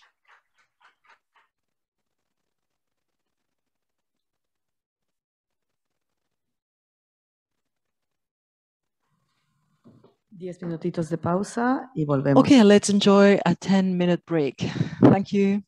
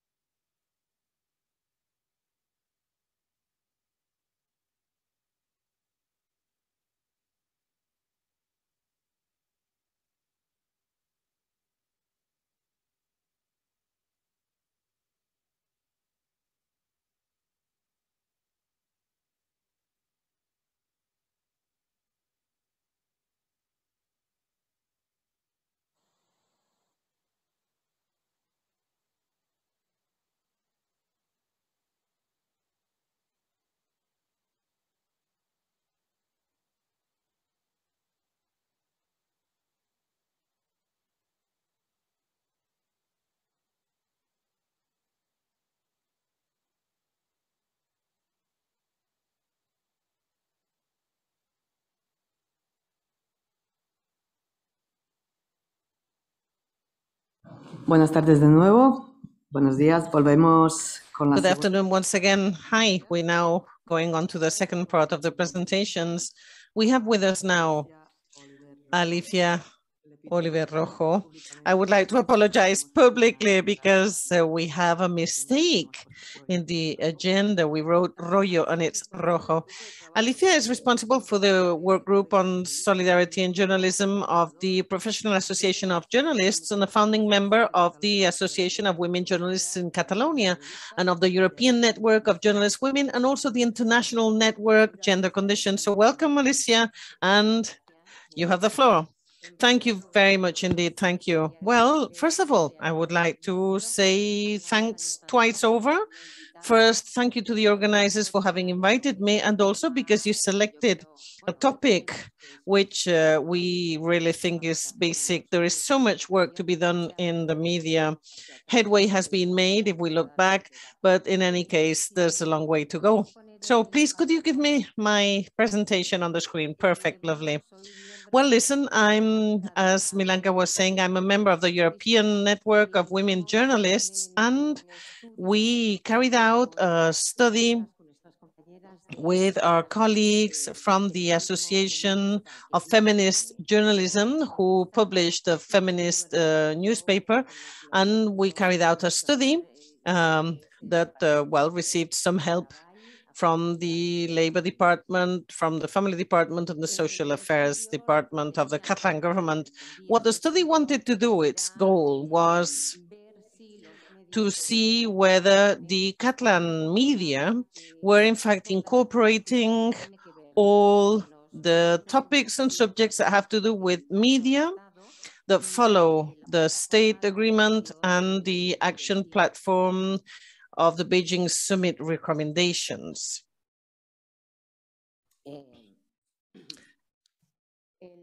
And the study had four stages. I'll explain them as I go along. The first was documentary review. And in this stage of our work, a number of colleagues from the feminist newspaper that are more specialized in, in such a follow-up of this state agreement. And what we did was uh, to actually review and follow the guidelines in chapter J of the action, the platform for action of Beijing. I mean, 26 years have gone by, but that uh, platform for action is still considered the seminal document that has these 12 areas of action that the governments, the different states have to apply in order to eventually get to something that is such a dream of ours, which is equality, or gender equality.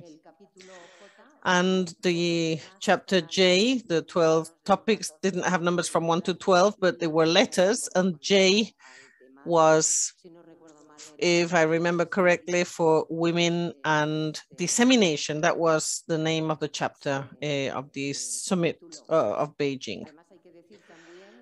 I should say as well that in 1995, um, and I believe today would not be feasible, but then the this was uh, passed by the unanimity of all the countries attending this fourth summit in Beijing, United Nations summit. And truthfully, I mean, that was 170 countries, no less. Nowadays, this just wouldn't be feasible. It wouldn't happen because we see, don't we, the Vatican, Nicaragua, Iran, and other countries that are really trying to go back and, and just not work on subjects that were mentioned already in 1995.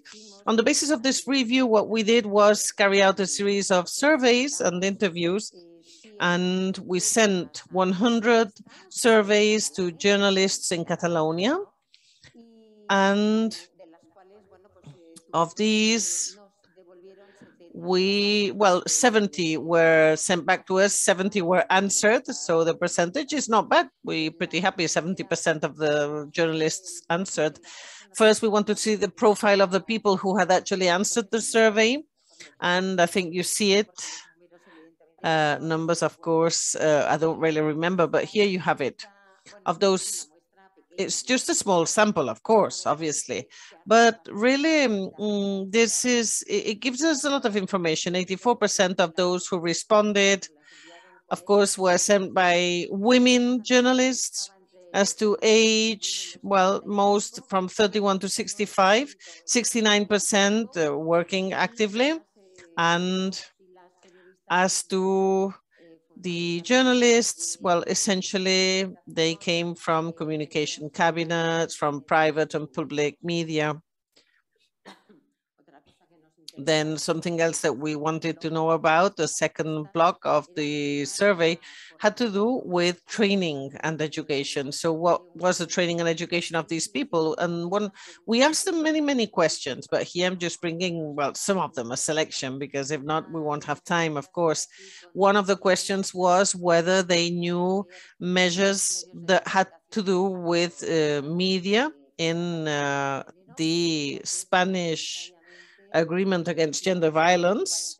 And 45% said that they didn't know about this agreement of the Spanish government. We asked about the Istanbul Covenant and about the definition of violence in this uh, Istanbul Covenant, and 58% did not know what this definition of violence was. And we also asked them whether the company or the medium in which they worked had offered training, specific training about um, male chauvinist violence. Well, once again, more than half, 54% said that the medium where in which they worked or the company that they worked in had not given them any training at all.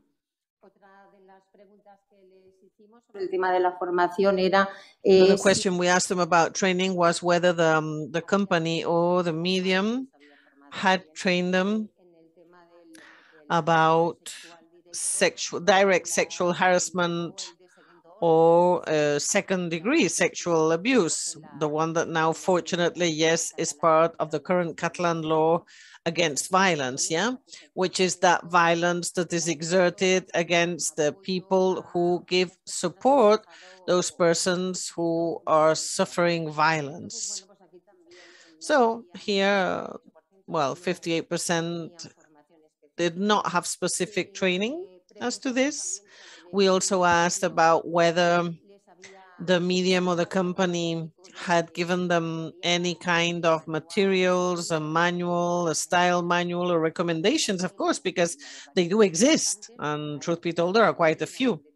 But maybe they don't get to where they should get to. And well, here, yet again, more than 60% said that their medium or the company that they work for had not given them any manual, any guidelines, any recommendations about being able to improve the news that have to do with male chauvinist violence. We've seen that in the companies of that small sample, I insist, only 70 answers of the survey that came to us. Well, practically we saw that training was not being given. We asked them as well whether they, as journalists, out of working hours, had attended training courses, whether they were interested. And here, yes, we do see an interest because 52% had in fact uh, gone, attended a course about how to use or how to deal or how to improve, better said, the, the way news are dealt with when they have to do with male chauvinist violence. And yes, well, they had decided to attend courses out of the environment of their jobs. They had done it as private individuals. A third block, professional practice. We wanted to know, and we asked them this way. We asked them whether they knew about cases justifying or trivializing um, male chauvinist violence. It's a bit what um, Alicia was telling us about in her first presentation, yeah, the one about advertising. And here they answered uh, mostly 52% knew of quite a few cases, yes. Another important problem that eventually is getting better, but not as good as it should be, or at least things are not being, be, being done the way they should. Another problem we encountered is yet another question that we asked was whether they knew cases of news in which the victim had been put in doubt. So the typical girl going back home at three o'clock in the morning is raped And yeah, and then the comment is, well, yes, why, why, why were you working on your own at three o'clock in the morning? Yeah. So news like these, mm, thank goodness, uh, well, they're going down, but we still see some, we still see some, yeah, where people say, oh, she was drunk, she was wearing a miniskirt, or sentences, of course, I mean, of judges uh, not all that long ago, yeah. So here, yes, uh, well, they replied 58% said yes, they did know about cases in which the victim had been kind of made to appear guilty, and nearly 40% said quite a few. Then also we asked about cases in which the aggressor had been justified. Yeah, when they say, no, he was so in, so much in love with her, or he was drunk, he was drugged, he didn't know what he was doing, it was just a frenzy there are still, we still read news in which there is a certain justification of male chauvinist uh, violence. And yes, a high percentage, 54% said they knew about such cases. And finally, the fourth block of the interview that had to do with the action and prevention protocol against direct and secondary sexual harassment mm, linked to journalism. Well, here among the questions that we posed, one was whether their medium or their company had any specific action and prevention protocol. 39% said they didn't know, they did not know. So there's quite an important lack of knowledge. I mean, never mind the companies or media having that or not. 30% said yes, another 30% said no, they didn't have it. But there is a huge mass of journalist colleagues that don't know about this, whether there is an action protocol. And in the case of its existing, the question was, was it effective as an action and prevention protocol? 63% said they didn't know because there's no follow-up. In fact, there is no assessment of whether it is being effective. There's no information. And with this last question, that was the end of this blog. And well, we asked, it was an open-ended question as to what improvements would they put forward to, to get the situation better. And these are the, the five recommendations that most coincided on. For example, in those media or companies that didn't have a protocol, obviously there had to be a protocol prepared and disseminated among the workers and obviously make it uh, something that has to be complied with. Then when there is uh, somebody denouncing, the protocol has to be activated immediately. Training, training, um, right from the beginning at the faculties of journalism at the university in the compulsory subjects. Because I mean, yes, sometimes you have an optional subject dealing with this, but what they wanted was that all students learned this at the journalism faculty. And then also um, the possibility of implementing measures to punish those companies or media not complying with the, the ethical codes or even complying with the law. Yes, in the cases of male chauvinist violence. The third stage of the study was uh, face-to-face -face interviews. We carried out 10, two persons uh, with responsibility jobs in different media, persons who have the responsibility and the ability to change and decision-making power, so to speak, yes, for things to happen, for training courses to be given, protocols to be written and signed, and so on. And these are the three coincidences that we detected, yes, that they themselves explained. There is no follow-up mechanism to see whether the media are applying action protocols they also stated that there are some recommendations, some recommendations and trainings in the company, but what didn't seem to exist was the assessment of the impact of all this on the professional action of people. Eh, what was missing was the assessment to see whether these actions and recommendations were in fact useful to improve the way journalists treated or dealt with this topic. And they also talked about rectification mechanisms that were not well defined. Finally, in the last part of the study, well, it was quite an interesting uh, discussion flow. I hope that we could that, have that more often because truly, I remember we did this in the Professional Journalists Association. We got 10 people together, half of them journalists and the other half were representatives of different associations and organizations of women, expert in, in gender violence. And I'm saying interesting, but it's a way of, well, because of listening to each other. If we want to improve the way we communicate, we have to listen very well as journalists, because of course it's women who are victims, who are the experts. They are living these situations, so then they are the ones that can help us. And what we did in this meeting, well, once again, uh, what came up is this about compulsory education, establishing follow-up mechanisms, assessing the impact of the measures and guidelines deployed. And they also would ask the, the journalists in this case, they asked us to support victims and not re-victimize were their words. Yes, after having gone through terrible times, well, the, the communication media medium sometimes re-victimize them.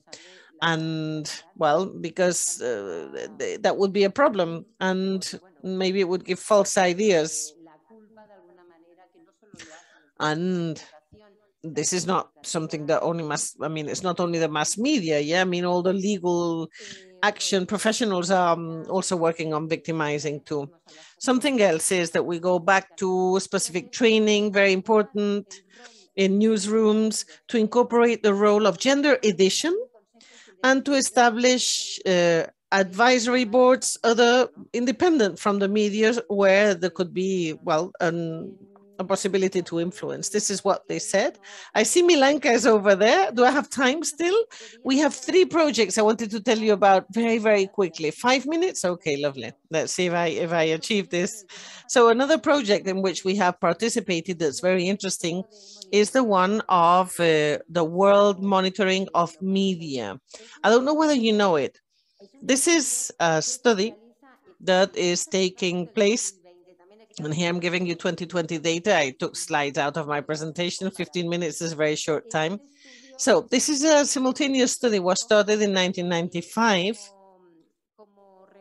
as a response to that J chapter I mentioned of the Action Beijing platform. So that was something on which a lot of work had to be done because uh, whether we like it or not, the media, mass media, well, and I'm not going to go to it again, but of course we do create the social imaginary and it's not the same to be than not to be in this case. And so we realized that, yes, we had to go to focus on these topics. It isn't every five years and it's an x-ray. The most extensive and important study carried out in the world about gender in the in the media and this gives a snapshot, a snapshot of the representation of men and women in the media, the way they are represented. This snapshot was done for the first time in Spain and well, from the Association of Women Journalists linked to the Autonomous University of Madrid between 2005 and 2010. And then in 2015, Elvira Altés, who was a coordinator, she retired. And so then came Nuria Simelio. Now in 2020, it's being carried out by Teresa Mira of the university. The study then in the Spanish state and all over the world means, well, you select the same day for everyone and there's high levels of secrecy, quite incredible because up to the week before, we don't know what day it's going to be. And this to try and make sure that it's a normal day in inverted commas and that we can study and analyze well. The study took place on September 29, 2020. 563 informations were gathered of 32 media and mean means of the Spanish state. And now, yes, I'll be quick, quick. What I wanted to say here, I have a PowerPoint, and every five years uh, I update it. Yes, so here I may I wanted to maintain the figures of 22 uh, and compare with 2015. In press, radio, and television, women represent women shown in the news and in press, radio, TV, and also in social networks, Twitter and online press. Well, women in 2010 were 23%. We went up to 28% in 2015. And now in 2020, the report is uh, ending. I mean, we've, we've got it, it's just recently published. Uh, think 116 countries, each one codes, uh, each one of the coordinators in their country, and then this is sent to the central headquarters, which is, well, they have two, which is this NGO in London and also in Canada.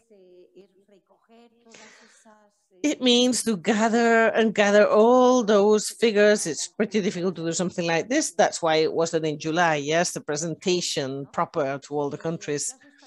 In the Spanish case, we lowered it. We lowered the price at 2%. I believe it might not be a lot. Of course, it's not a lot, but as we were already uh, flagging, it's a lot. In digital press and Twitter, we have, well, women are slightly more represented, 31%. We lost two points since 2015. And now we below the European average because in 2015 we were over this European level. More interesting and important data. Well, this is uh, what's negative this year, but here we have an important item and it will have to be included definitely in quarantine. I don't know, but it's the last section and it has to do with, uh, well, women as uh, sources of information. In 2015, there were 9%, 9% only of women. They would have an opinion and they were considered experts in some subject area in 2015, whereas this year it's rather surprising because we moved from 9 to 34%. Why? Well, obviously, one of the things that should be done is that we are in a context of pandemic, right? Still there. So the training and request of opinion and what have you has been done more among the 74% and essentially people with problems uh, and, and but also about what is more feminized, not the, um, the top people, I mean, the board. I remember when I started being a journalist, I was very surprised to see the nursing school uh, in Barcelona, and it was all women nurses, and the president was a man.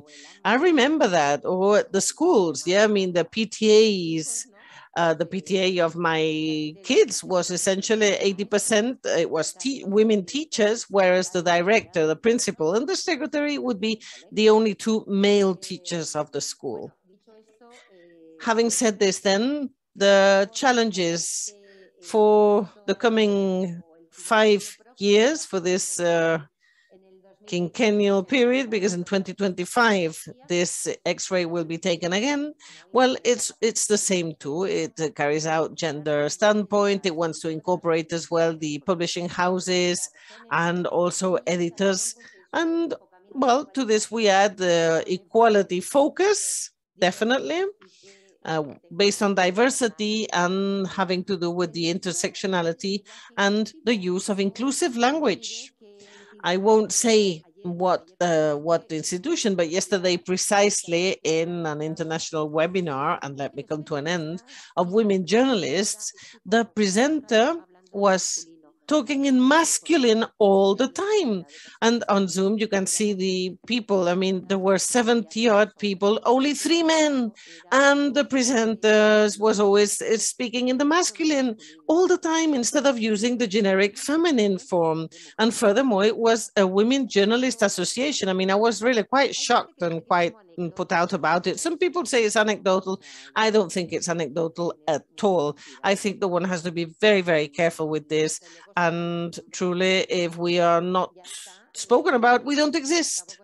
Anyway, this is my final slide, which has to do with making headway in gender equality and rights of women in communication and journalism. This is uh, we uh, what we've published. We're presenting it next week on the 29th. It's, uh, well, a decalogue uh, about recommendations and guidelines that has been written by journalists of six countries belonging to, to the world, Chile, Argentina, Colombia, Mexico, Brazil, and the Catalan uh, journalists we hear, yes, as well. And this has to do with different topics that are related to the, mm, the means. And then we were talking about violences against uh, journalists, women professionals of communication. And that is all.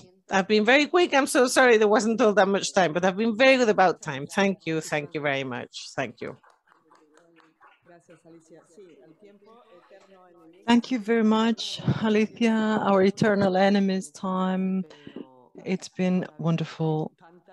Uh, but yes, uh, today we still have much, a lot, a lot of uh, a long path still to walk.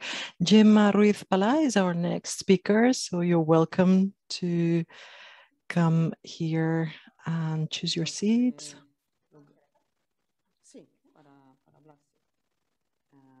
Yes, you can remove your mask.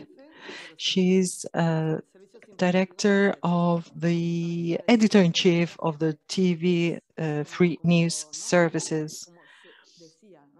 Before editora jefe, it's a, a male noun in Spanish, whether it's a, a, female or a man or a woman. As our previous speaker said, uh, uh, welcome Gemma. She'll be talking to us about this and a lot of more things.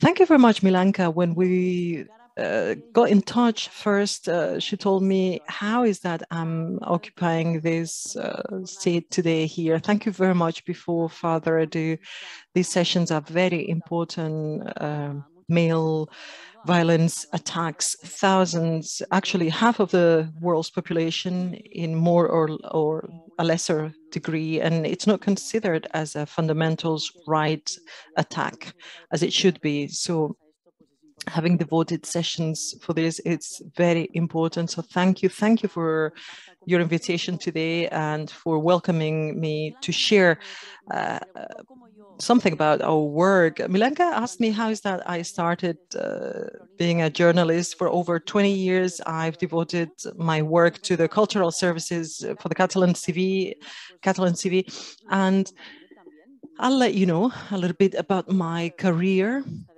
I devoted my work to the cultural news and I came back from uh, special leave that I took to do some research for a future novel. And when I came back, the director of the news asked me to be uh, editor in chief. And I actually started laughing because being a woman, uh, relatively young, coming from the cultural uh, section of the news, it's not the typical place where you can actually jump and uh, improve your your status to become editor in chief. And actually the the sort of excuse uh, was that uh, traditionally there were older men coming from international or the politics sessions. Probably uh, women journalists uh, are used to, to such uh, typical positions but not only they wanted to change a profile but they wanted to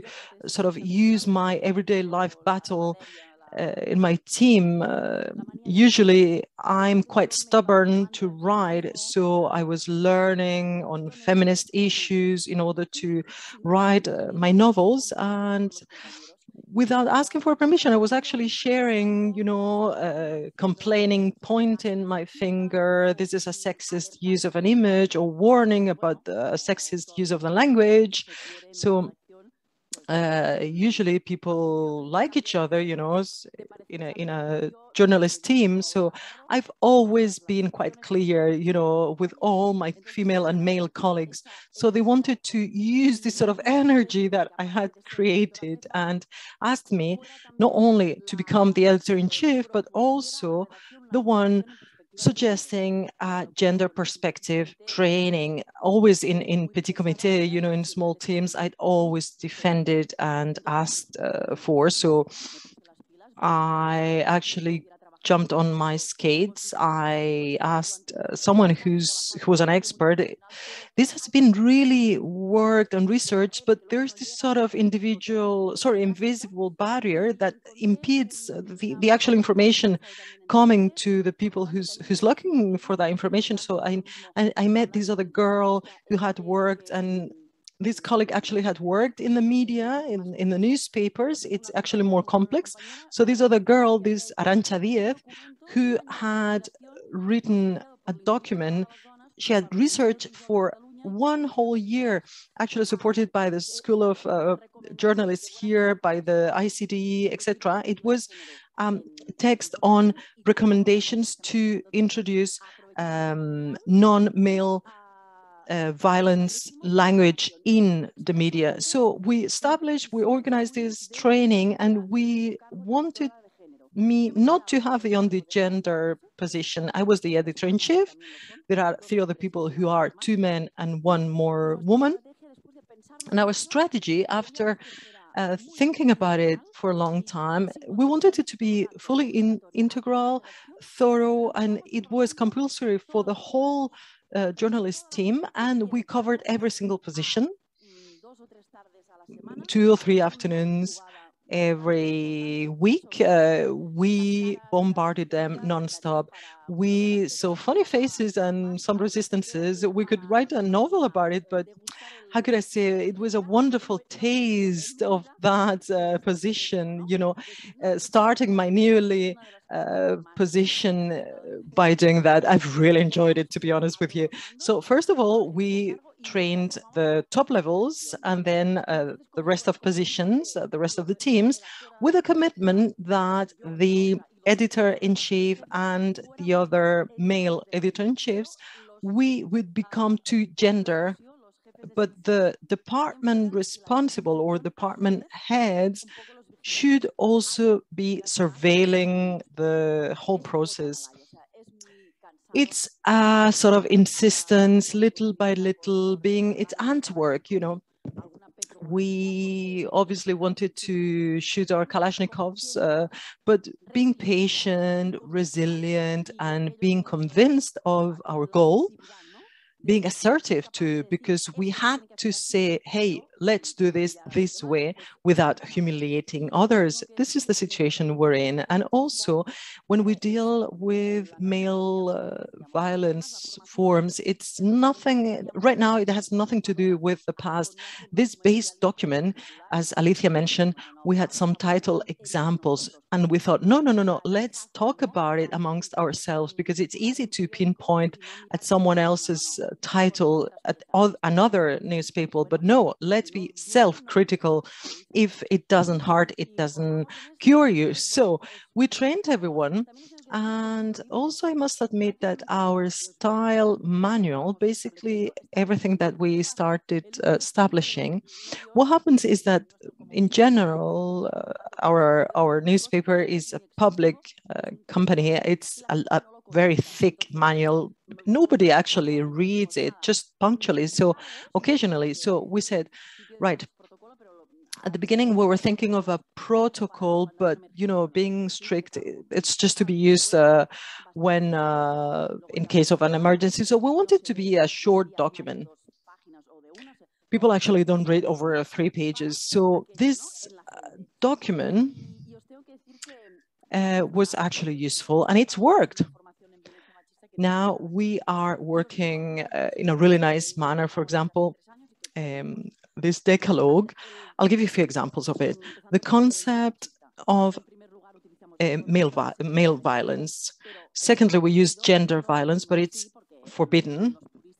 Of course, purists could come and say, no, you cannot forbid things or specific terms. We don't recommend, let's say, domestic violence. No, we don't use that from our pieces of information because they recall this systemic, uh, it doesn't have, uh, the, the personal becomes uh, politic, as we know.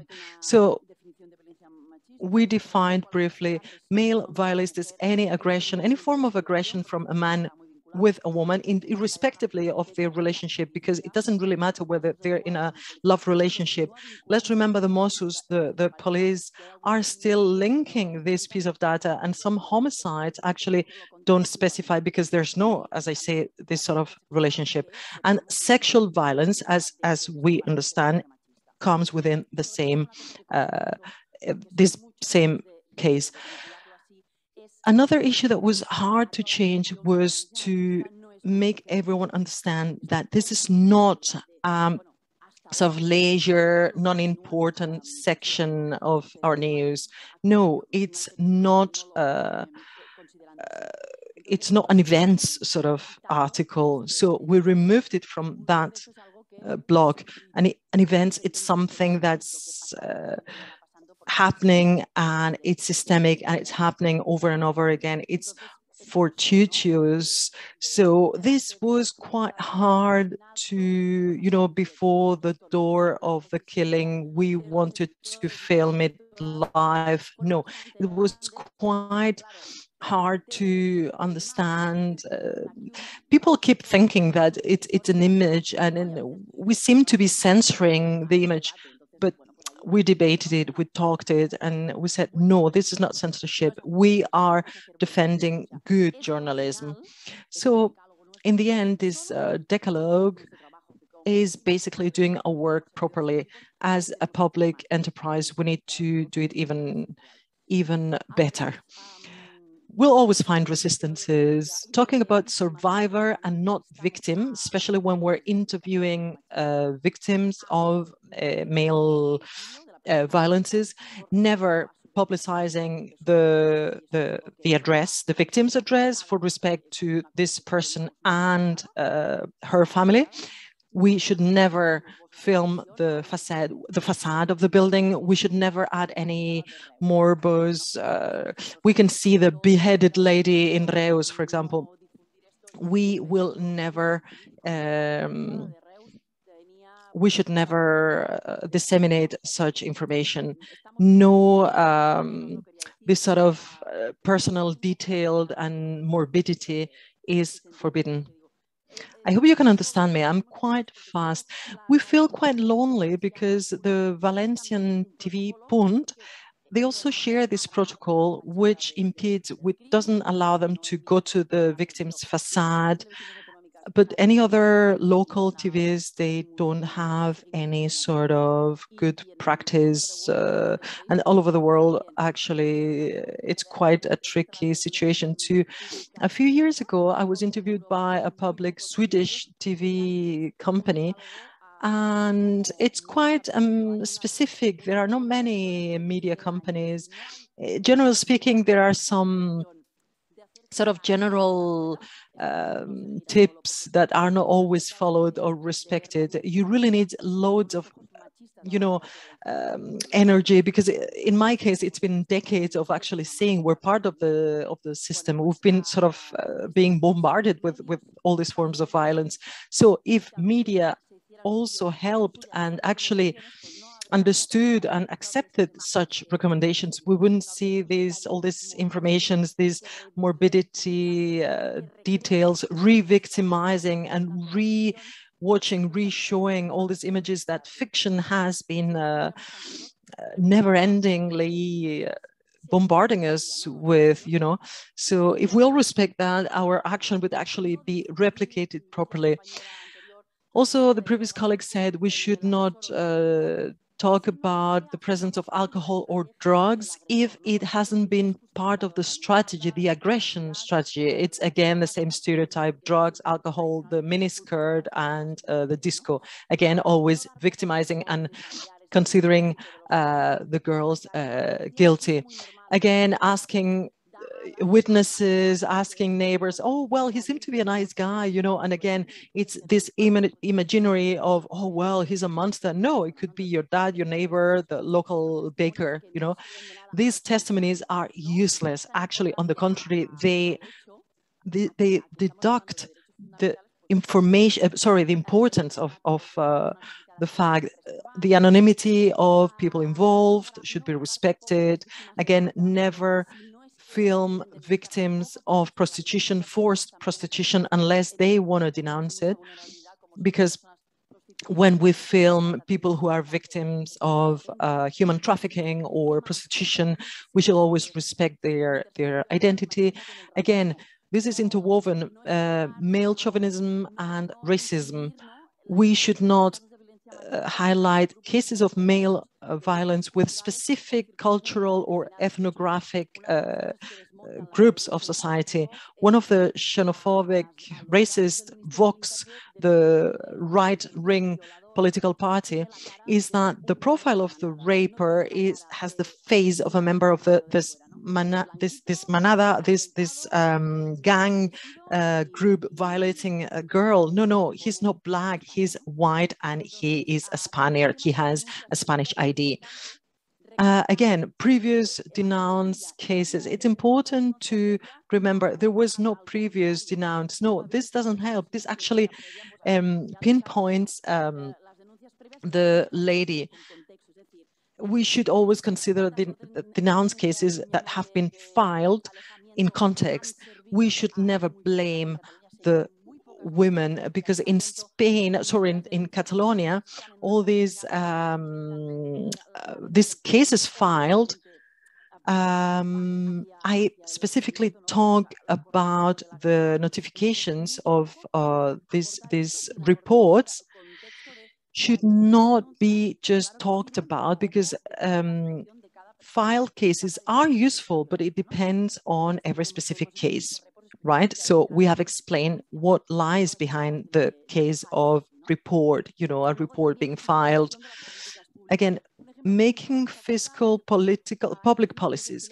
I mean that when we keep minutes of silence, uh, every single town hall uh, person saying we denounce, blah, blah, blah. We said, no, we don't agree. We should always ask any town major or town hall representative what sort of resources what sort of resources, I repeat, that your municipality or local city is implementing for this? Do you have a budget? What is it? Where is your office? Where can you go? All this created or generated their rejection to get back to us, but actually afterwards they created a plan or a framework and they had a minimal budget to create um, some sort of gender policies. So this fourth power well, sometimes uh, we do, if we do our work properly, uh, at the end of the day, people do listen to you. Um,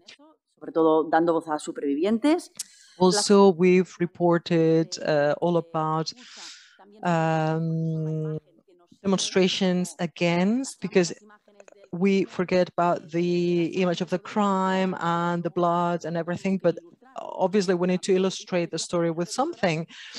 Uh, otherwise, our editors are going to say, well, this is television. Okay, we're going to show some demonstrations and some minutes of silence. What else? Reinforcing with contents that actually put in context this vulneration of uh, human rights. And also, something we do is to add a label or banner actually burned on the screen with the telephone, the 900, 900, 910 in the case of Catalonia, so that victims and aggressors actually watch the news and they can see this phone. So it's it's creating, building awareness.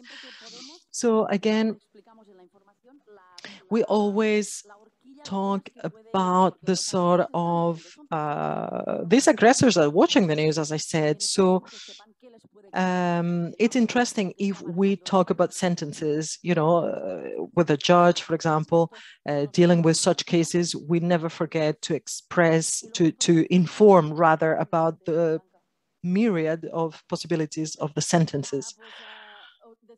Am I forgetting something? Uh, right, yeah. Um, regarding what the previous speaker said, we actually wanted to be audited to make sure we're complying with this uh, list. Uh, we have this agreement with the University Autónoma. They have um, a, a, project uh, of at, at, the end of the studies, the four-year studies, and as a tutor of one of these projects, this uh, this, this follow-up project, I was asked for certain topics and I said I would like to be audited on how we deal with uh, male violence and what our situation is regarding gender perspective. So a year ago, with regards to male violence, it was great. We were not re-victimizing, we were not showing uh, blood, but with regards to gender perspective, eh, we still have a lot to do because uh, a, a detail, for example, women always have a name and surname. And um, this was something that uh, maybe it's a little, it's too objective to say uh, our colleagues to do it, but there are some other details that it's more difficult to improve. But uh, anyway, it's it's the self-criticism, this recognition of the things we need to improve. Uh, it's it, it's important. Our weaknesses, you know, it's it's. Uh, with regards to male violence, it's easier, it's more technical, it's easier to implement things. So we've done a huge leap uh, towards improvement.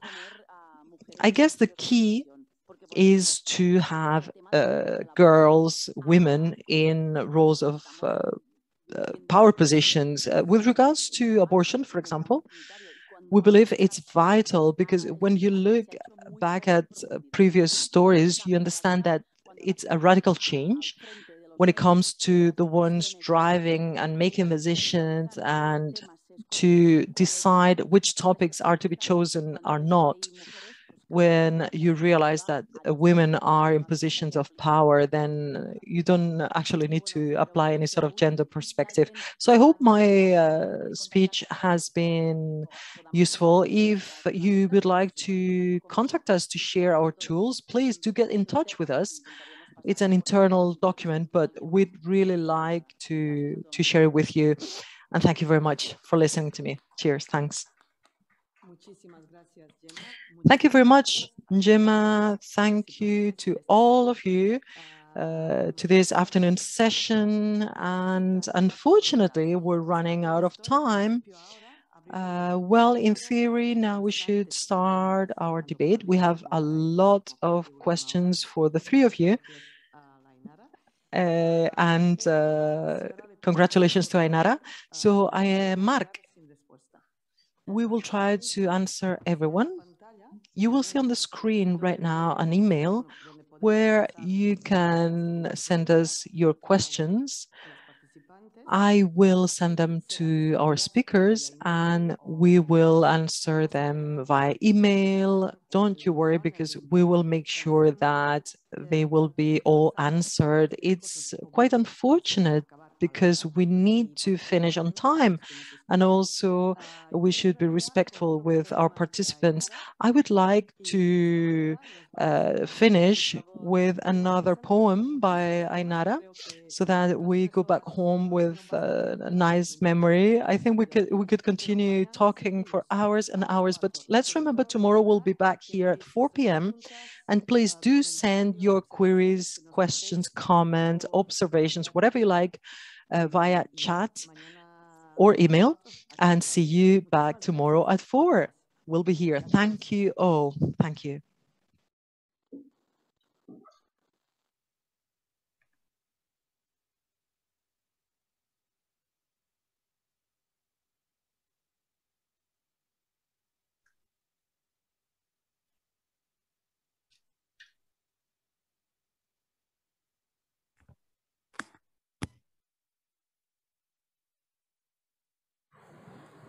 ¿Ahora? Vale. Okay. Well, I'm delighted to be closing today's session. So I won't add much to what's been said. Only let me tell you that this last poem I'm going to be reading to you or saying reflects on gender stereotypes and I compare them with a bottle of wine, okay? And so then you'll wonder, what has gender got to do with a bottle of wine? Let us start with the bottle. The bottle, common noun, feminine gender. She, with the capacity to store any kind of liquid, any data, no matter how small. She, so sentimental that when it is emptied, Bent down, she cries drop by drop her misfortune. She, the bottle, with a subtle, correct, cautious way, she tries not to go beyond the limits that the table imposes on her so as not to break, because she is so fragile, they say, so delicate. She sinks her glassy sides around the brittle waist of an opening that connects the outside with the inside, an opening through which penetrates like a defoliated rose the wine of the blood, alcohol. Oh, the alcohol common noun, masculine gender in Spanish. Alcohol runs away from commitments as soon as it enters the bottle, as soon as it comes in, it goes out. He within a physical capacity to make throats burn, he who is born of the violet and tender grape becomes an ecstatic and crimson chemistry that fills the body with courage and the veins with lovers. He is impetuous, nocturnal. He is the color of blood. He is the important one. He gives meaning to the bottle because without him, there is no sorrow to drown in.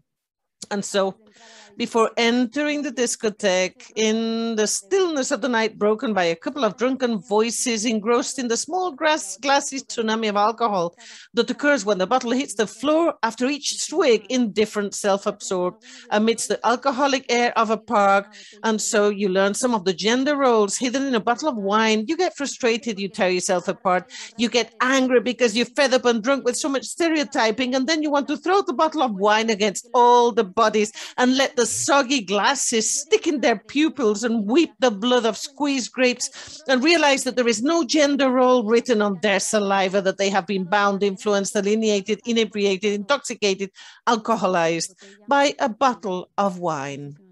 Thank you so much.